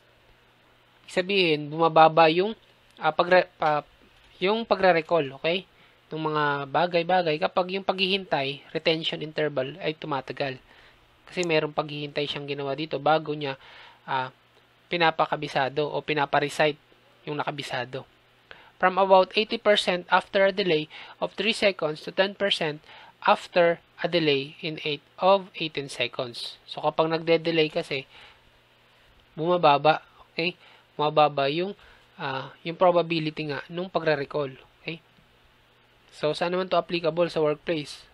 Uh, sa ano to sa reaction time, kumbaga. Kung magde-design tayo ng machine, okay? So, dapat kapag uh, pinindot, okay, ba, pinindot yung operator natin sa control, dapat yung reaction, reaction time niya is as much as possible mabawasan, okay? Kasi mamaya, pagkapindot niya ng isang uh, control, ang tagal pala, okay? Matagal siya, bawa mga 1 uh, minute pa hintayin ng worker. Saka, saka naman niya, uh, ipipindutin yung another control. So, yung, may tendency kasi na makakalimutan ng worker na pindutin yun. Okay? Ngayon, kung, kung mabilis lang yung retention time, yung paghihintay niya, sabihin yung reaction time ng machine, pagka pindot niya, siguro mga 5 seconds lang, uh, pipindutin niya na dapat ulit yung sumunod na button. Yun, mas, uh, mas mataas yung probability na hindi niya makakalimutan yun. Okay, so, yun yung mas mainam na design. So, itong figure na ito, uh, itinatawag na serial position effect in short-term storage. So, paano naman ito? Uh, halimbawa, kasi dito, uh, sa kaliwa, sa y-intercept, yung percentage, yan, percent of correct recall. So, 1% to 100%. So, halimbawa, nagsimula siya dito sa mga uh, 75% or uh, 70%. Okay? So, yung B na yun, yung tinatawag na primary effect. Siyempre, yun yung una. So, primary. Okay? Next, so bumaba, bumababa siya. Okay? Pansin nyo, bumababa, bumababa siya. As, ito kasi mga seconds to eh. As the seconds goes by. Ayan o. Oh, 1 second to 22 seconds. Samantala, biglang tumaas dito. Okay? Bakit biglang tumaas? Kasi meron tayong letter A o tinatawag na recency effect. So, ano yung recency effect? Ayan, ginamitan na kasi siya ng inter, in uh, immediate recall. Ibig sabihin, ginamitan na siya ng uh, pag uh, mental operation. Ibig sabihin, nag-focus na yung isip niya ano, kung ano yung dapat uh, kung ano yung dapat uh, alalahanin. Okay? Kasi, ibig sabihin, bawa, dito, may pinindot siyang button dito sa B, sa recency effect. Okay? Tapos, syempre, hindi, wala pang reaction yung machine. May hinihintay pa siyang reaction bago niya pindutin yung sumunod na button. So, yan, nagkaroon siya ng hanggang 19 seconds, 20 seconds. Okay? So, dito kasi na bumababa na, okay, yung kanyang uh, memory. Pagdating dito kasi sa intermediate recall, bilang tumaas kasi nga, kumbaga nandun na yung cue, yung stimuli, oh, na 20 seconds na. Or, uh, nag-react na yung machine, o kailangan ko na pindutin to. Kumbaga, nagkaroon ngayon ng mental operation kung ano yung dapat next na gagawin. Kaya tumaas na. Ayan, oh, tumaas na yung percentage ng recall. Okay, so delayed lang siya, delayed. Kasi nga, uh, dahil nga dito sa span nung seconds bago uh, sumunod, uh, bago isagawa yung sumunod na reaction. Okay, so ito yung tatawag na serial position effect in short-term storage. So, sinasabi lang nito na, yun nga, as time goes by, mas bumababa yung, uh, yung probability na mare-recall. Tapos, uh, tataas naman yun uh, kapag uh, nag-focus, okay, mentally focus, uh, yung worker, okay, o yun yung tao, kung paano niya, ano yung susunod niyang gagawin. Yun yung tatawag na presence, yung pre, uh, recency effect, okay, or immediate recall. Kasi kung wala ditong immediate recall eh, kung hindi, ka, hindi siya mag-iisip, magfo-focus kung anong next na gagawin, magde-decay na yan over time. Kasi makakalimutan niya na yan. Okay? So, dito na papasok yung mga alarms. Halimbawa, after 20 seconds, mag-a-alarm para malaman ng operator o magsisignal para malaman ng operator yung dapat niyang gawin. Okay? Diyan papasok yung mga signals. So, dito nga pala, bakit tinawag na recency effect? Okay? Yung nandito kay letter A. Kasi kumbaga, kung ano yung recent Okay? Yung recent na information na pumasok sa isip okay, ng operator o ng worker. Sabihin yung pinaka last na uh, na information, yun yung pinaka ta- natatandaan niya. Kaya tinatawag na recency. Di ba may word na recent? Sabihin yung pinaka last. Kaya tinatawag na recency effect. Yun, yun, yung pinakahuli na yun, yung pinaka mayroong mataas na probability na uh, ma, na ano niya, maaalala niya. Kasi yun yung pinaka last na uh, pumasok na information. Tapos ito, tinawag din siyang primacy effect. Okay, dito kay B. Kasi nga, uh, pumapangalawa siya dito sa recency effect. Ibig sabihin, yung pinakahuling, yung, pina, yung recency kasi, yung pinakahuling information na pumasok sa worker or operator, yun yung pinaka natatandaan niya. Samantala naman yung prima, primacy effect, yun yung pangalawang natatandaan niya, yung pinakauna. Okay? Tapos ang nangyayari, dito yung yung middle, okay? Yung middle information na pumasok sa kanya, yun yung pinaka uh, nakakalimutan niya yung nasa gitna. Okay, so yung pinaka tatandaan niyo, ang pinaka natatandaan yung pinakahuling uh, information na sinabi. Sumunod na natatandaan ay yung pinakauna. Tapos yung uh, pinaka hindi natatandaan is yung nasa uh, nasa gitna. Okay?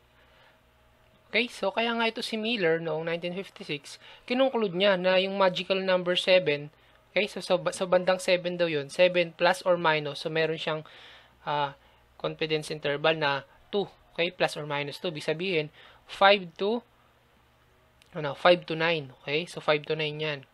Was the limit on the capacity of STS. Okay, so yun yung number. Kaya nung nakaraan nating lesson, di ba, sabi 7 plus or minus 2 yung nalagay natin sa memory. So yan si Miller nung 1956 ang nag-conclude niyan.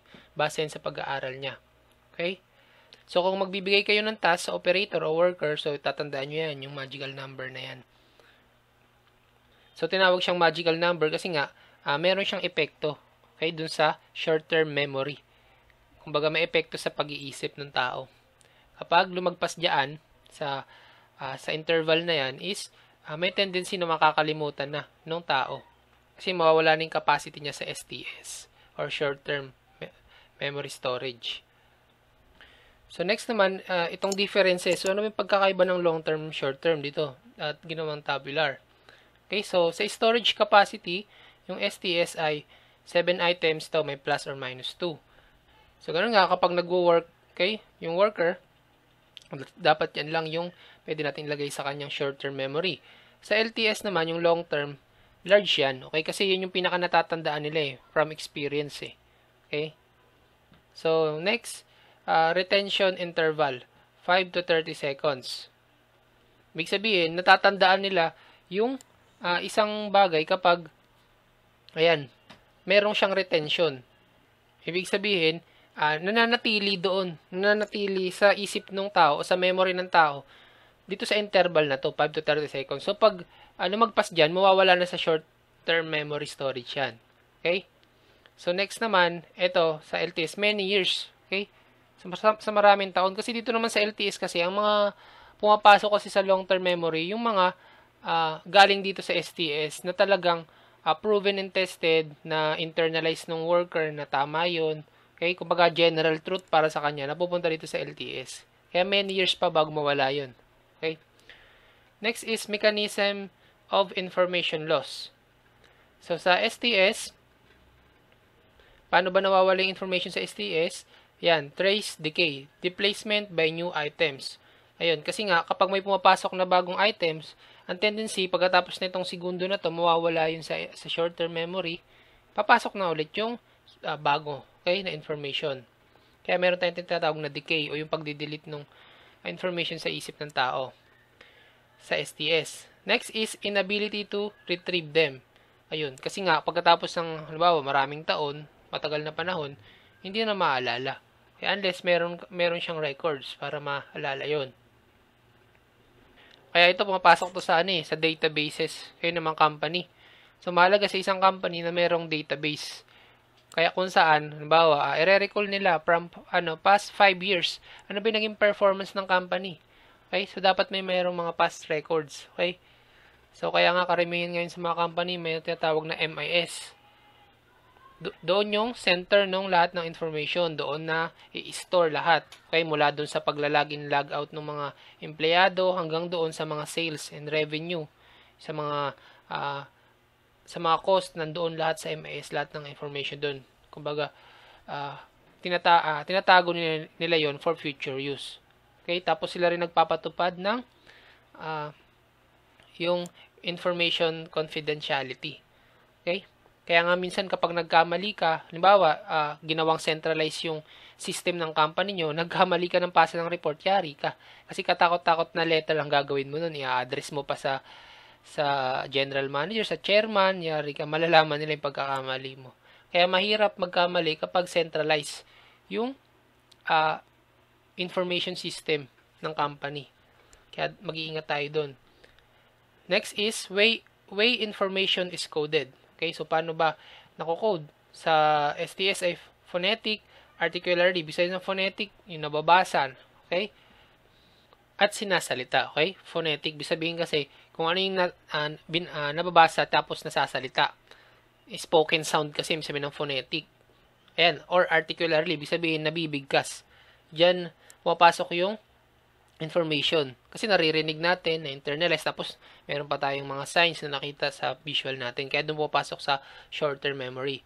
Dito naman sa LTS ay semantic. So pag sinabi mong semantic, uh, meaning naman siya. Kumbaga yun yung yun yung pumapasok sa long-term memory kapag may meaning. Ibig sabihin pag meaningless ang isang information na pumasok doon sa short term, hindi siya pumapasok sa long term kasi kumbaga walang impact. Okay? O halimbawa na lang, ah, merong at merong dry run ng isang product. Okay? Susubukan ng company na gumawa ng product na ito. So sa mga sa mga worker na 'yon, sa sinabi na ganoon, subukan yung ano. So yung pagsubok na 'yon, yung process na 'yon, uh, hindi hindi tumatatak 'yun sa ano memory long-term memory ng uh, nung worker unless maging permanent product na nung company yung ginagawa nila. Kasi magkakaroon na ngayon ng associative meaning. Okay? Nagkakaroon na ng meaning sa worker na ito, product na ng company na kinabibilangan ko kailangan itong uh, matandaan ko in long term. Kaya na kaya siya uh, na-store lang sa long term kapag meron siyang uh, meaning, okay? May associative meaning na siya. Okay? So ito uh, ayan, short-term memory limitations have important ergonomic implications. So, ano ba yung important na yun? Bakit? Yung limitation pala na yun ay may importance. Bakit?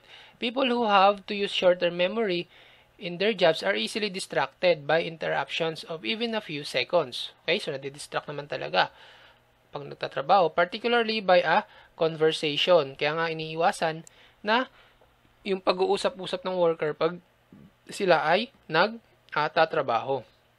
Or by having to carry out verbal secondary task. Okay, kung kailangan pa nilang yan, answering the phone, answering the phone while doing mental arithmetic. Okay? Kung nagko-compute pa pala sila ng ingredients, tapos tumatawag pa na. Tasks that require STM storage from multiple sources can be said to be of high mental workload. Ayun, napapasok yung mental workload. So, dapat, as much as possible, yung information na pumapasok sa worker natin ay iisa lang yung source. Kasi nga naman, uh, uh, magiging ano siya, loaded siya ng mental workload yung uh, short-term memory niya. Okay? At pag nangyari yun, magkakamali yung worker mo. Okay?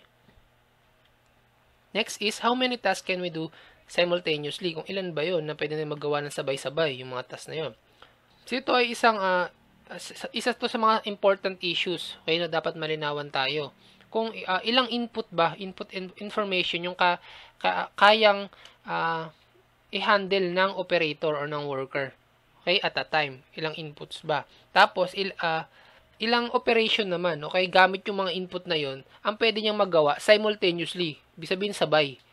Okay, so una, ilang inputs ba ang pwedeng maki-read out ng worker. Okay, tapos ilang operations naman ang pwede niyang maggawa ng sabay.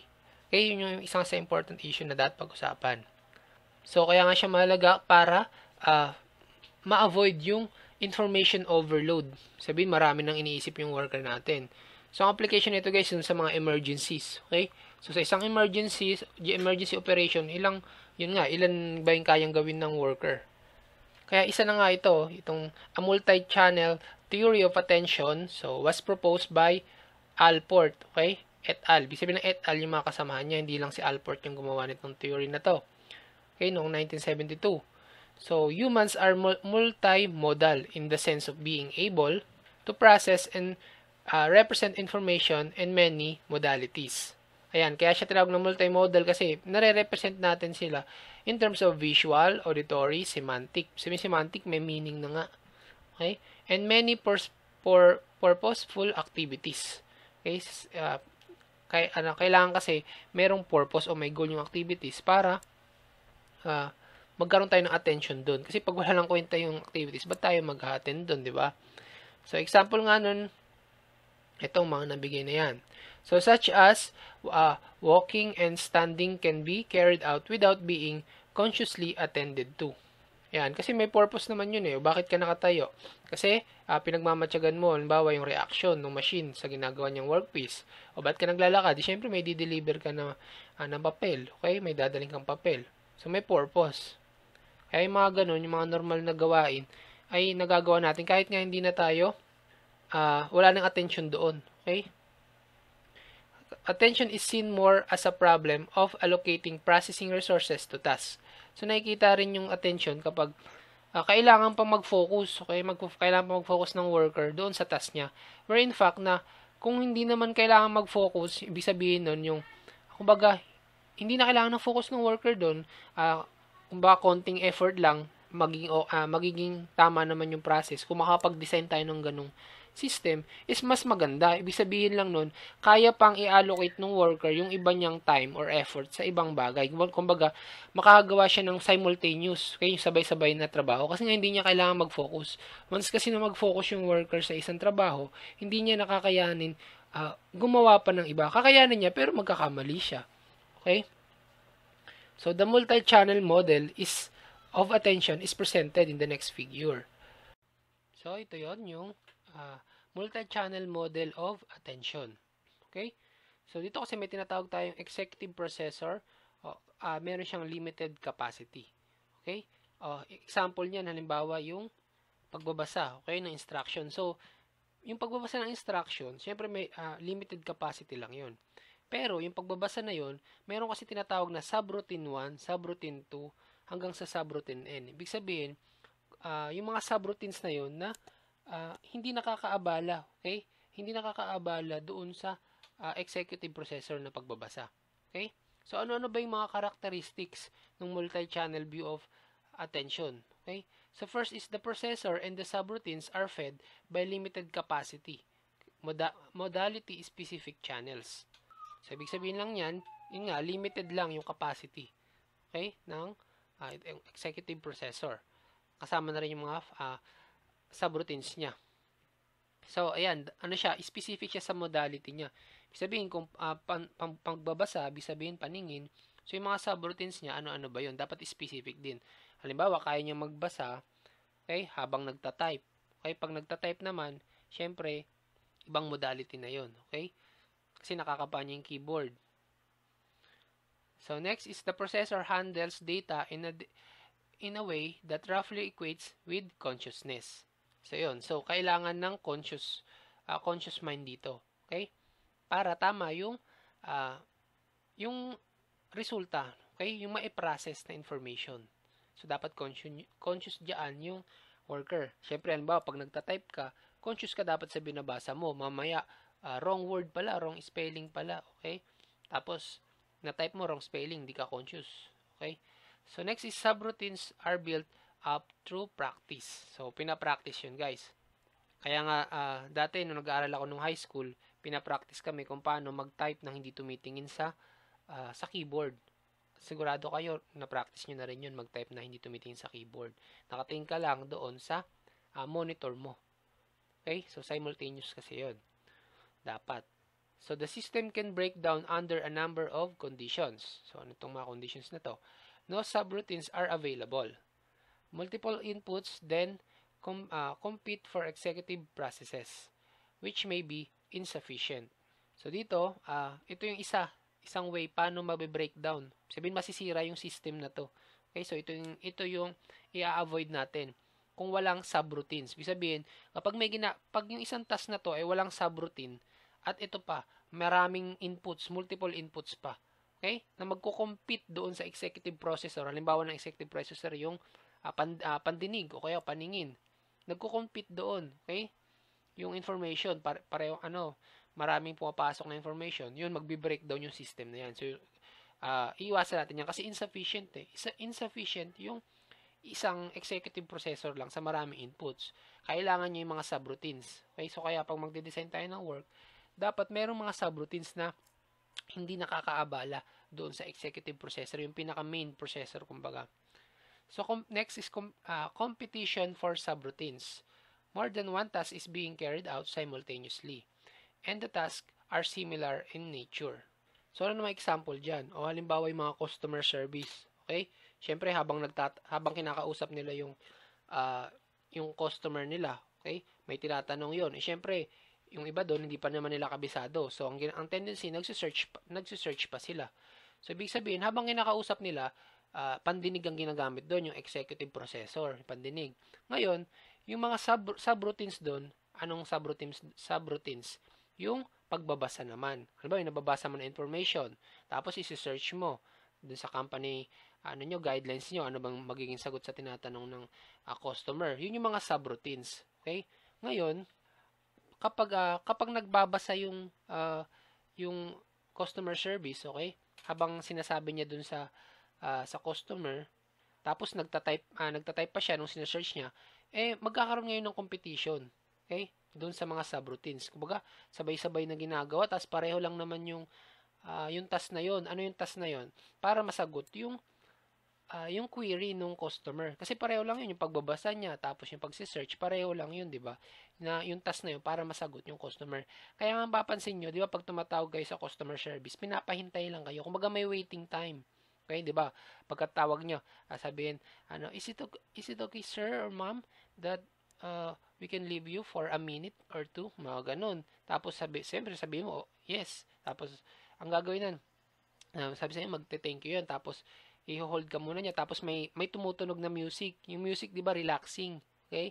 So isang way 'yun, okay? Isang way 'yun para maiwasan itong breakdown ng system na ito. Okay, maiwasan yung competition for subroutines para ma uh, maiwasan na kinakausap ka niya, okay, habang nagsi-search siya.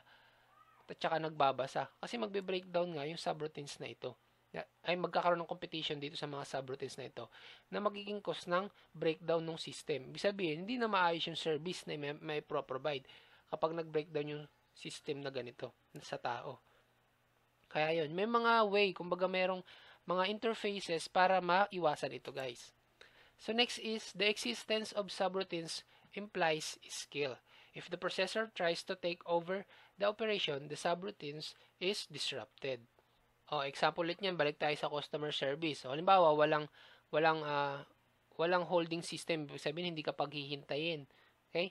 Hindi ka paghihintayin tapos kumbaga yung worker na yon o yung customer service representative na yon eh kabisado niya, okay? Kumbaga nagbabase sa sa uh, stored knowledge niya. Okay, ang tendency kasi nun guys, ang ang mangyayari doon is kapag nag explain yung customer service at biglang pumasok, okay, meaning biglang uh, nagsalita yung uh, yung customer, halimbawa nag nag nag-explain yung ano customer service tapos bilang pumasok nagsalita, may tinanong yung customer, okay? Ang mangyayari, madi-disrupt ay madi-disrupt yung mga subroutine niya. Ibig sabihin, maaantala o mapipigilan.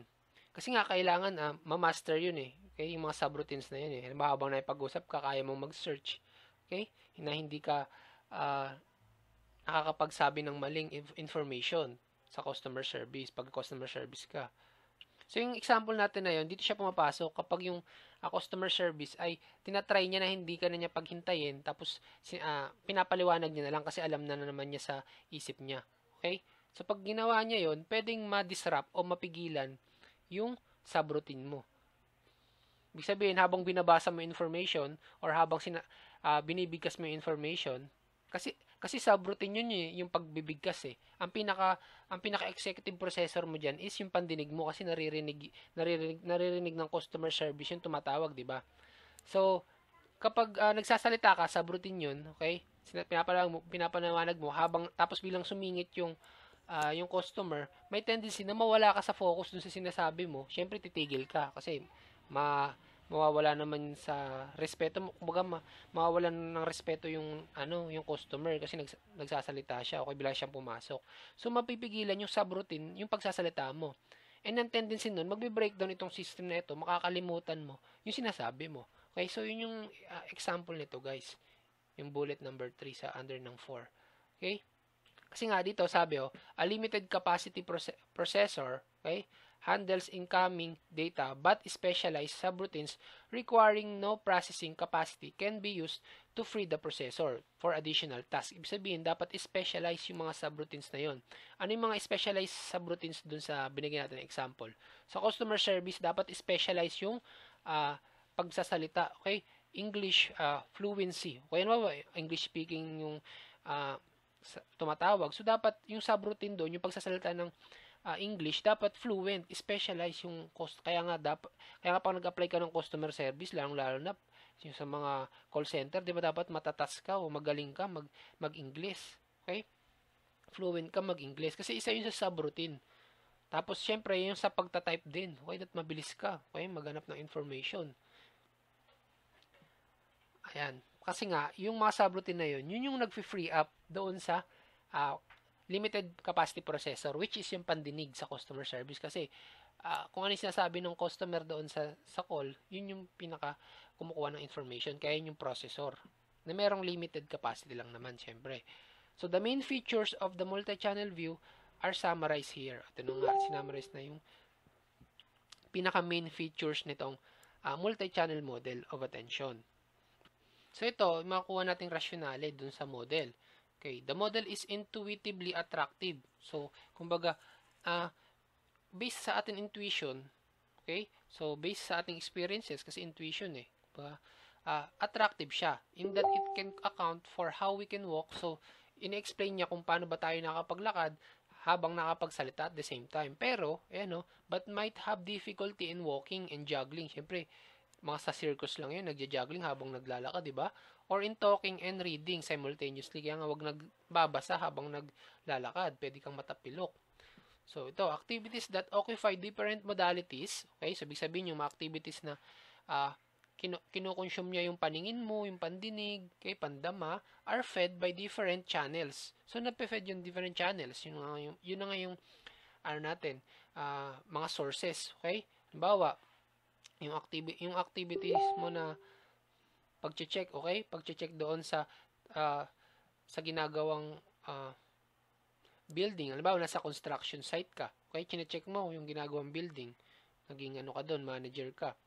Okay? So, syempre doon maraming modalities na magagamit yung paningin mo kung kung uh, tama ba yung ginagawa. Okay? Tapos nandun yung mga rep- mga kinakausap ka ng mga foreman.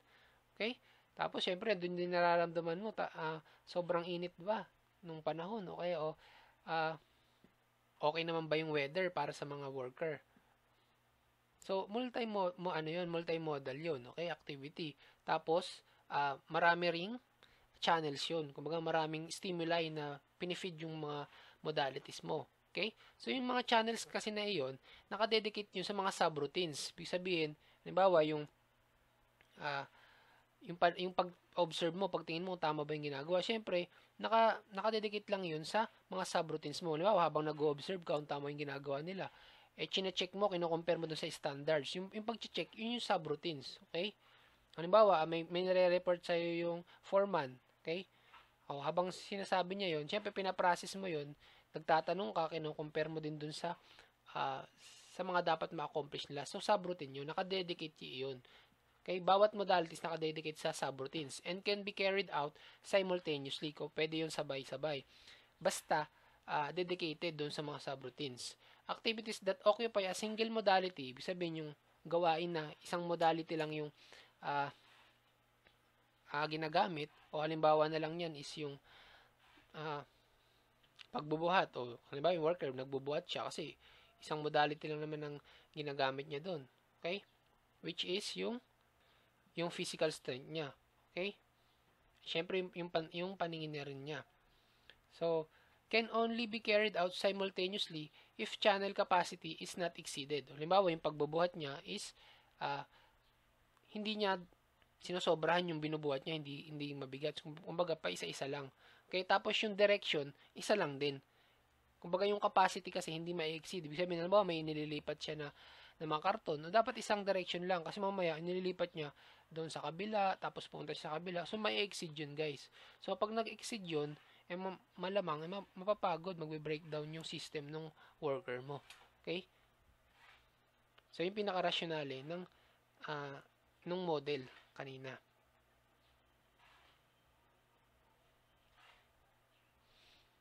Oh, ito naman yung uh, related studies. So, ano na ba yung mga uh, related studies doon sa model? Ito si Alport et al. noong 1972, tsaka si Scoffer, 1975. Ito yung nakita nila, na find out nila. A multi-channel view would say that the shadowing task, okay, pag sinabi mo kasing shadowing task, yun yung mga ginagawa sa subroutines. And the memory for pictures task utilize different limited capacity channels. Ibig sabihin, kasi uh, ang pinaka-task kasi dun sa experiment nila is uh, ayan, may memory. Sinusubok yung memory dun sa pagpapakita ng pictures. Okay? So, yung, uh, yung shadowing task na tinatawag, kasi dito sa experiment nila, may pinapabigkas, okay, dun sa mga uh, subjects nila. Pinapabigkas, yun yung shadowing task, pinapabigkas na salita. Habang minememorize naman nila yung mga pictures na pinapakita. Siyempre, magkaiba ng uh, capacity. Okay? Different limited capacity channels yung ginagamit doon. Siyempre, yung isa, pandinig para uh, tsaka pananalita, okay? Tsaka yung isa naman uh, pa, paningin kasi pinapakita yung picture. So, magkaibang kap ano yan, capacity channels. Ibig sabihin, magkaiba sila ng uh, dinadaanan that can operate independently in of each other. So, ayun nga, kaya nilang mag-operate nang hindi nakakapekto sa isa't isa. Halimbawa, uh, may binibigkas na instruction. Halimbawa, may foreman, binibigay siyang instruction. Habang nagsasabi siya ng instruction sa mga uh, subordinates niya, yung mga workers. Okay? Kaya niya rin magmatsyag. Okay? Nagmamatsyag siya doon sa mga pictures or reactions ng mga mukha ng mga workers habang sinasabi niya instruction. So, yun yung example. Naka, uh, uh, independently nagwo-work. Okay? Na, na pwedeng gawin simultaneously kasi independently nagwo-work eh. Cop, ayan, copy typing from ito pa isang example, yung copy typing daw, okay, from visually presented text, so may nakita kang text, tapos uh, tinatype niya, okay, does not involve the processing of verbal information. So, hindi naman nagsasalta. Kasi pag, nag, pag nagka-copy ka ng text, kasi hindi mo na naman bibigkasin yun, di ba? Ita-type mo na lang. Okay? Kasi itong mga skilled typists do not read the text when typing nga naman. They just type in letters. So, ita-type lang naman nila. Habang binabasa, tina-type. Okay? So, the copy typist had spare verbal capacity to process the auditory message. So, ayun uh, kung merong auditory message, mai spare niya na yung verbal capacity niya. Okay, ibig sabihin, kaya pa pala niyang habang nagta-type, okay, kaya niyang mag-receive ng auditory message. Kasi sabi dito, nai-spare niya yung verbal capacity to process the auditory message. Kasi mamaya may type siya na auditory, kaya niya kasi hindi na nga niya sinasabi. However, audio typing does require verbal processing capacity. So, kapag uh, uh, audio typing naman, halimbawa hindi niya binabasa, sinasa, sinasabi lang sa kanya. Okay? ng customer, yung sa customer service nga, merong incident report. Okay, habang sinasabi yun, syempre itatype, itatype yun ng customer service representative. Okay, kailangan daw ng verbal processing capacity as does shadowing a visual message. Siyempre, habang nagta-type ka, may napansin kang ah, hindi malinaw, magtatanong ka, magsasalita ka ngayon. Sabi mo, yes ma'am, uh, anong time po ito nangyari? Opo, ano pong nangyari? Paki-specify po. Sino po? Diba? Magsasalita ka din kasi kapag ganun. Kapag yung message is auditory. Okay? Yan. Does, kaya nga does require verbal processing capacity as does shadowing a visual message. Okay? So, ibig sabihin, habang nagsasalita ka, uh, nag, ano ka na, nagsha-shadowing ka na ng visual message. Okay? Through uh, speaking na. Okay? And insufficient capacity was available to do both tasks together. So, ang ibig sabihin lang yan, hindi hindi kaya ng customer service na uh, mag, uh, mag-type nung sinasabi nung uh, nung customer habang may ini-interpret siya na picture. Kaya hindi niya kaya yon.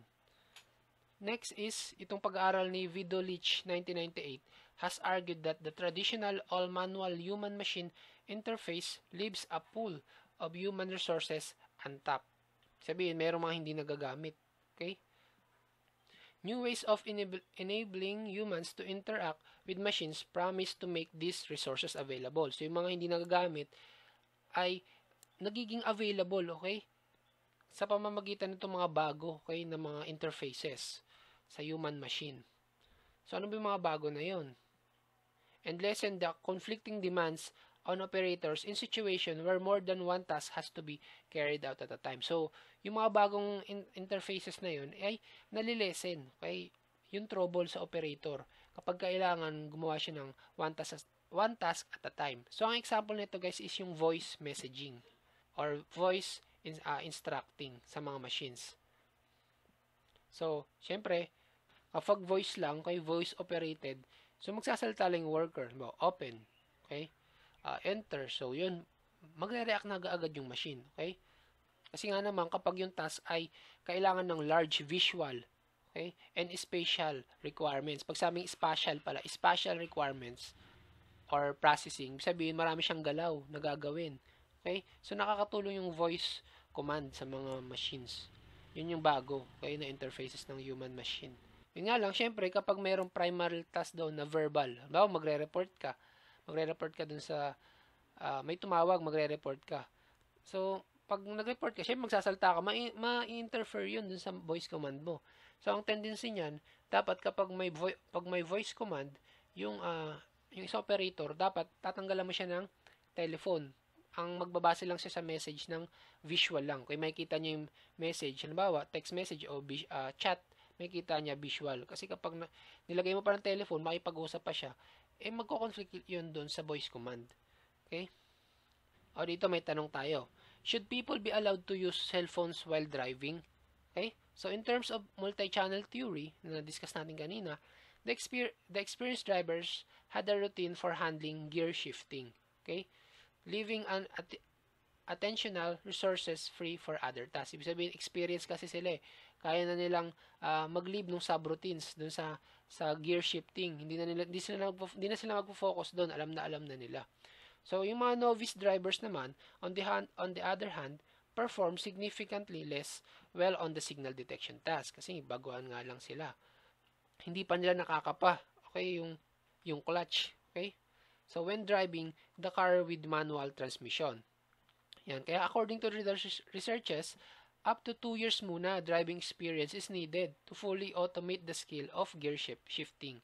So kung ikaw, tayo, baguhan tayo sa pagdadrive ng manual, 2 years pa daw kung uh, bago natin ma mapunta sa muscle memory, automate. Okay na, hindi na tayo nagfo-focus. Okay?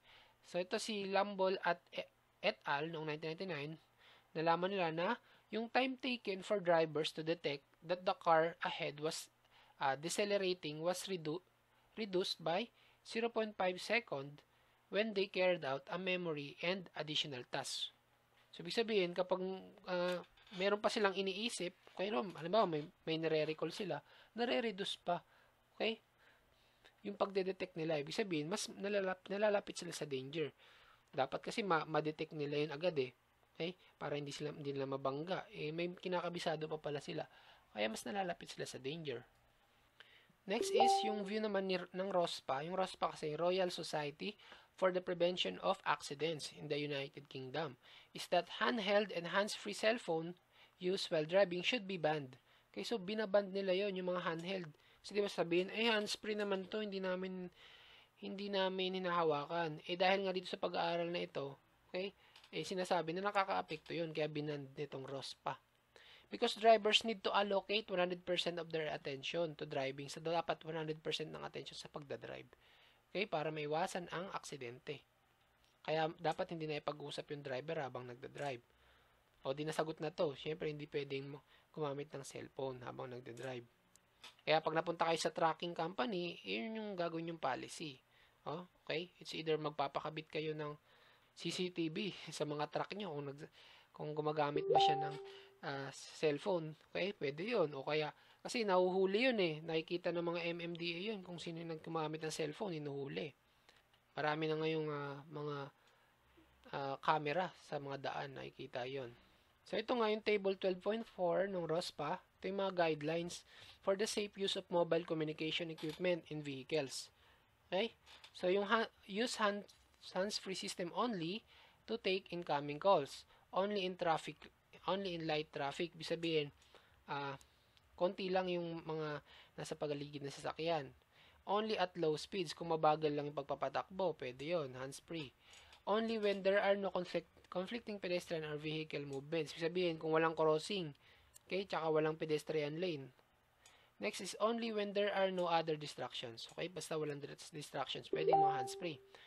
Yung mga outgoing outgoing calls naman can be made, ibig sabihin, tumatawag naman yung uh, tumatawag naman yung driver, okay, sa ibang tao. Only when the vehicle is stationary in a safe place. So, kung nakahinto, kung tatawag ka, emergency talaga, hihinto ka muna, okay?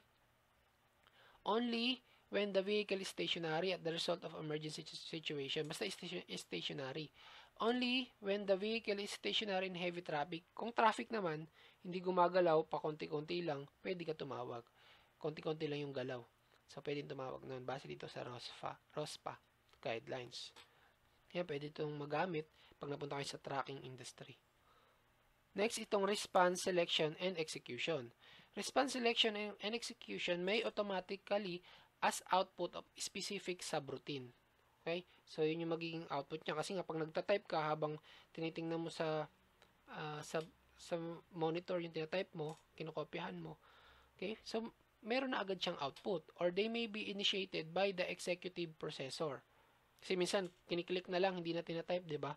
So, pag uh, pagkatingin mo, ma-initiate na agad ng paningin ng executive processor. This corresponds to the automatic or reflex response of the skilled performer or the rapid avoidance behavior that overrides all other outputs to avoid impending danger. So, kung mas mainam na uh, nag, nag, nakakagawa na agad ng output yung yung executive processor pa lang, yun, dun, ganun na natin i-design yung, yung isang work, okay?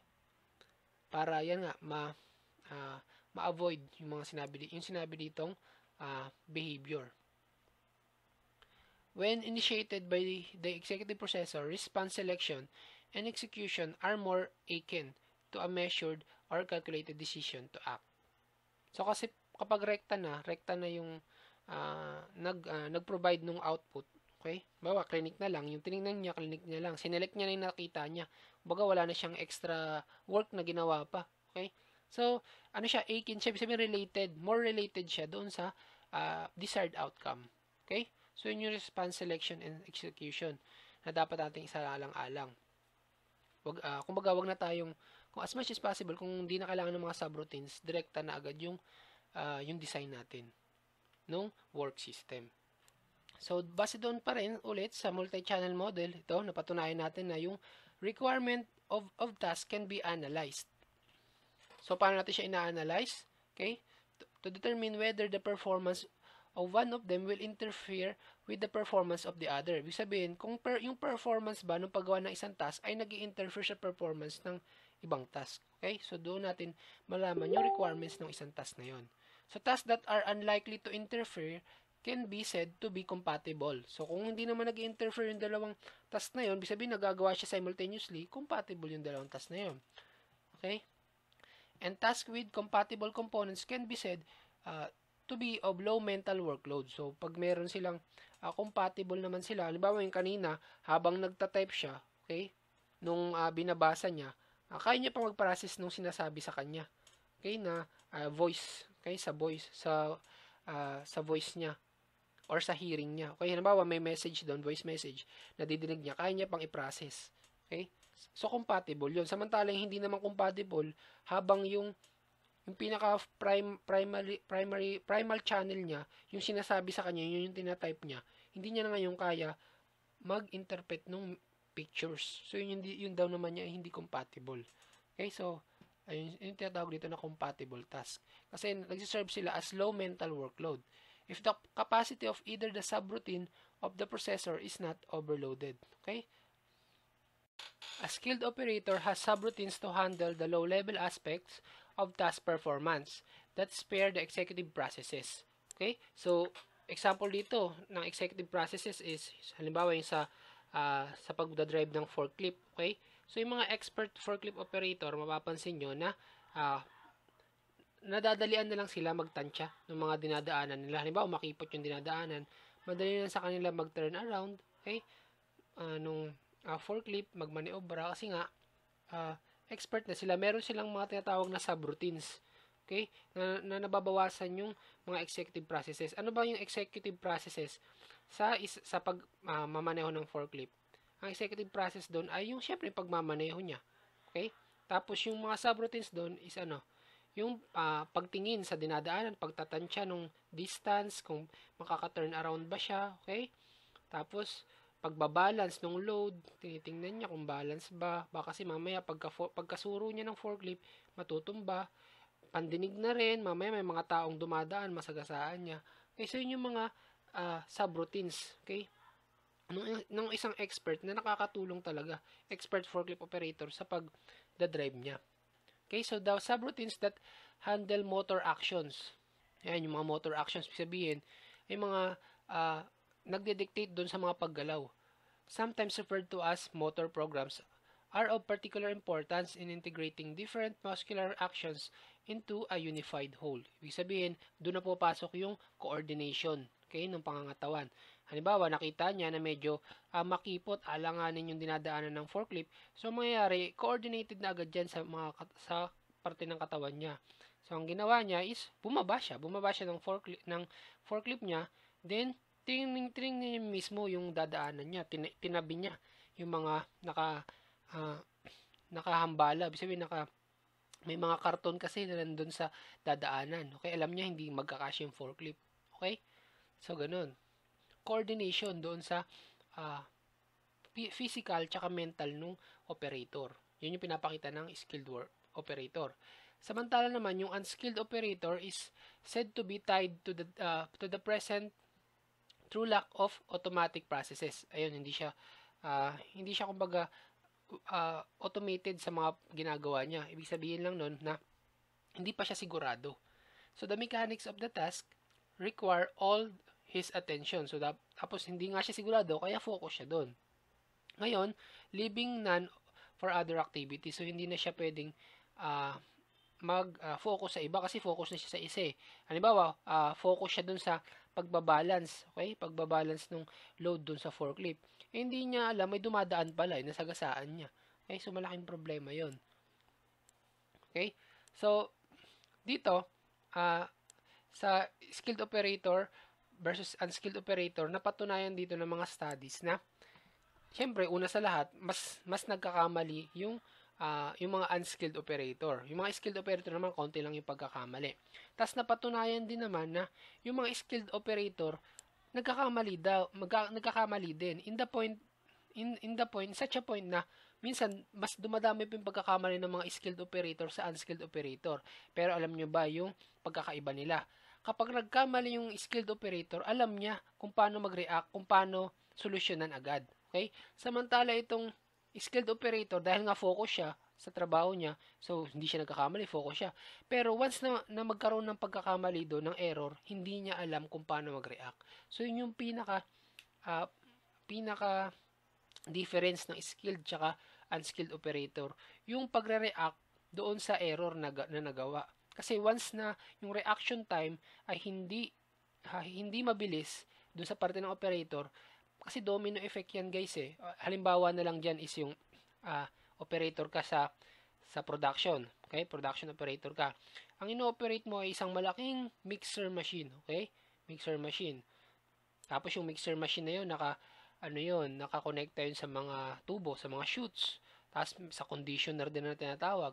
Ngayon, kapag uh, diba, may inoperate ka. Kapag may, may mali sa operation, halimbawa, yung ingredients na halo sa maling ingredients, hindi mo agad alam kung paano magre-react. Sabihin may device pala doon na dapat gagawin, eh, mauubos lahat ng materyales. Ma- masasayang. Ngayon, kung marunong ka mag-react, naputol mo agad yung mali na yun, konti lang yung nasayang. Okay? So, yun yung mga example doon. So, yun yung pinaka pinagkaiba ng skilled and unskilled operator. Yung skilled operator, alam niya kung anong dapat gagawin kapag may pagkakamali para maiwasan yung uh, yung mas malala pang epekto. Samantalang unskilled, hindi siya sigurado, okay? Doon sa gagawin kapag may pagkakamali. Kaya yun yung mahalaga, yung error proofing na tinatawag. Yun yung dapat tinuturo natin. So, sa conclusion noon, okay, so last, ano na to, slide, One of the interesting and important implications of these findings is that perhaps less attention should be paid to minimizing the number of errors. So, wag daw tayo mag-focus dun sa pag-minimize ng errors in the operation of a system and more should be paid to teaching users. Ayun, doon tayo sa pagtuturo sa mga users what types of error can occur. Okay? Kung ano ba yung mga types ng error na pwedeng mangyari. Kasi, kumbaga, proven and tested na yun, nangyari na nung nakaraan yun. So, ituturo natin yun ano mga prone errors na mangyayari. And effective error handling skills. So, yun yung ituturo natin. Paano ba hinahandle yung error na yun? Okay? Para maiwasan yung domino effect na tinatawag, mas lumalala pa ang problema. In other words, design effort should not be spent only in minimizing errors. Okay? So, pag magde-design ka ng work, uh, wag wag doon sa, ba, wag gagamit ka lang ng operations research. Okay? Mag-minimize ka or optimize ka. Okay? So, dapat doon ka rin kung, ayan, kung paano hinahandle yung, kasi sabi dito, since even experts are error prone, kasi tao lang naman yan, kahit sabi mong expert yan, nagkakamali din yan. But, on, but on error recovery dapat, doon magpo-focus, paano ba, uh, nakakapag-recover pag nagkamali. And on minimizing the consequences of an error. Ayun. Kasi once na malaman mo kung paano mag-react doon o magka-recover mula sa error, mami-minimize mo na impact nun, okay? Or consequences nun.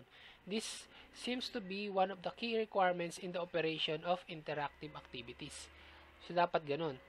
Yung mga interactive activities sa isang uh, production, isang company, dapat uh, meron, may, may uh, recover, error recovery. So, mare-recover pa. So sa, saan yan ano, talamak ngayon? 'Di ba sa mga uh, sa mga online services, 'di ba? Halimbawa sa mga bankings o sa mga uh, sa mga websites, pag nakalimutan mo yung password mo, 'di ba? Meron pa silang mga uh, recovery, okay, re-recover mo yung email mo, yung account mo, 'di ba? So ganoon, kung paano na re-recover yung uh, yung error na nangyari, okay? Pero dito guys, may, may napansin lang ako sa isang uh, ano dito, institution, katulad na lang ng SSS. Kasi kapag sa SSS, kapag nag-apply ka online, minsan pag nagkakamali ka doon na, nagkakamali ka input ng password mo, yung forget password hindi gumagana. Okay? Ang nangyayari niyan, hindi mo na nare-recover yung ano mo, yung uh, account mo. Pupunta ka pa mismo doon sa branch para ma-recover, magpi-fill up ka ng form. So yun yung nangyayari. Example yun, guys. So when evaluating existing systems, data are needed not only on the number of errors. Okay? So hindi lang hindi lang dapat yung mga data uh, na pine-present dun sa number ng errors. Halimbawa, nag-dry run ka ng isang system, tinetest mo, hindi lang yung number of errors yung i-record mo. So, accidents or unexpected events. So, hindi lang yung mga ganun, accidents and unexpected events. Pero, to also on their effects on the system. So, ano ba yung epekto nun sa system? Okay? Of system operation and the resources required to restore the system to its previous level of functioning. Kasi nga naman, kailangan mo munang uh, magkaroon ka ngayon dyan ng uh, SWOT analysis na tinatawag. Tsaka, uh, i gagawa mo ng hierarchy, yung error, yung priority, para magkaroon ka ng priority. O, ano bang error dito pag nangyayari error na to? Ito dapat yung i-priority. So, dapat malalaman natin kung ano yung priority, priority kasi merong instances na sabay-sabay nangyayari, nangyayari yung error eh. So, gagawa ngayon tayo ng protocol kung ano muna yung uunahing error na i-fix. Okay, kasi yun yung mas nag impact doon sa system operation. Okay? So, a first step in the design of any human-machine system, ito daw yung first step, pag magde-design tayo ng human-machine system, then is to characterize the expected skill level of the user population. So, i-define, i-characterize muna natin yung, ano ba yung level ng uh, skills ng uh, mga tao natin.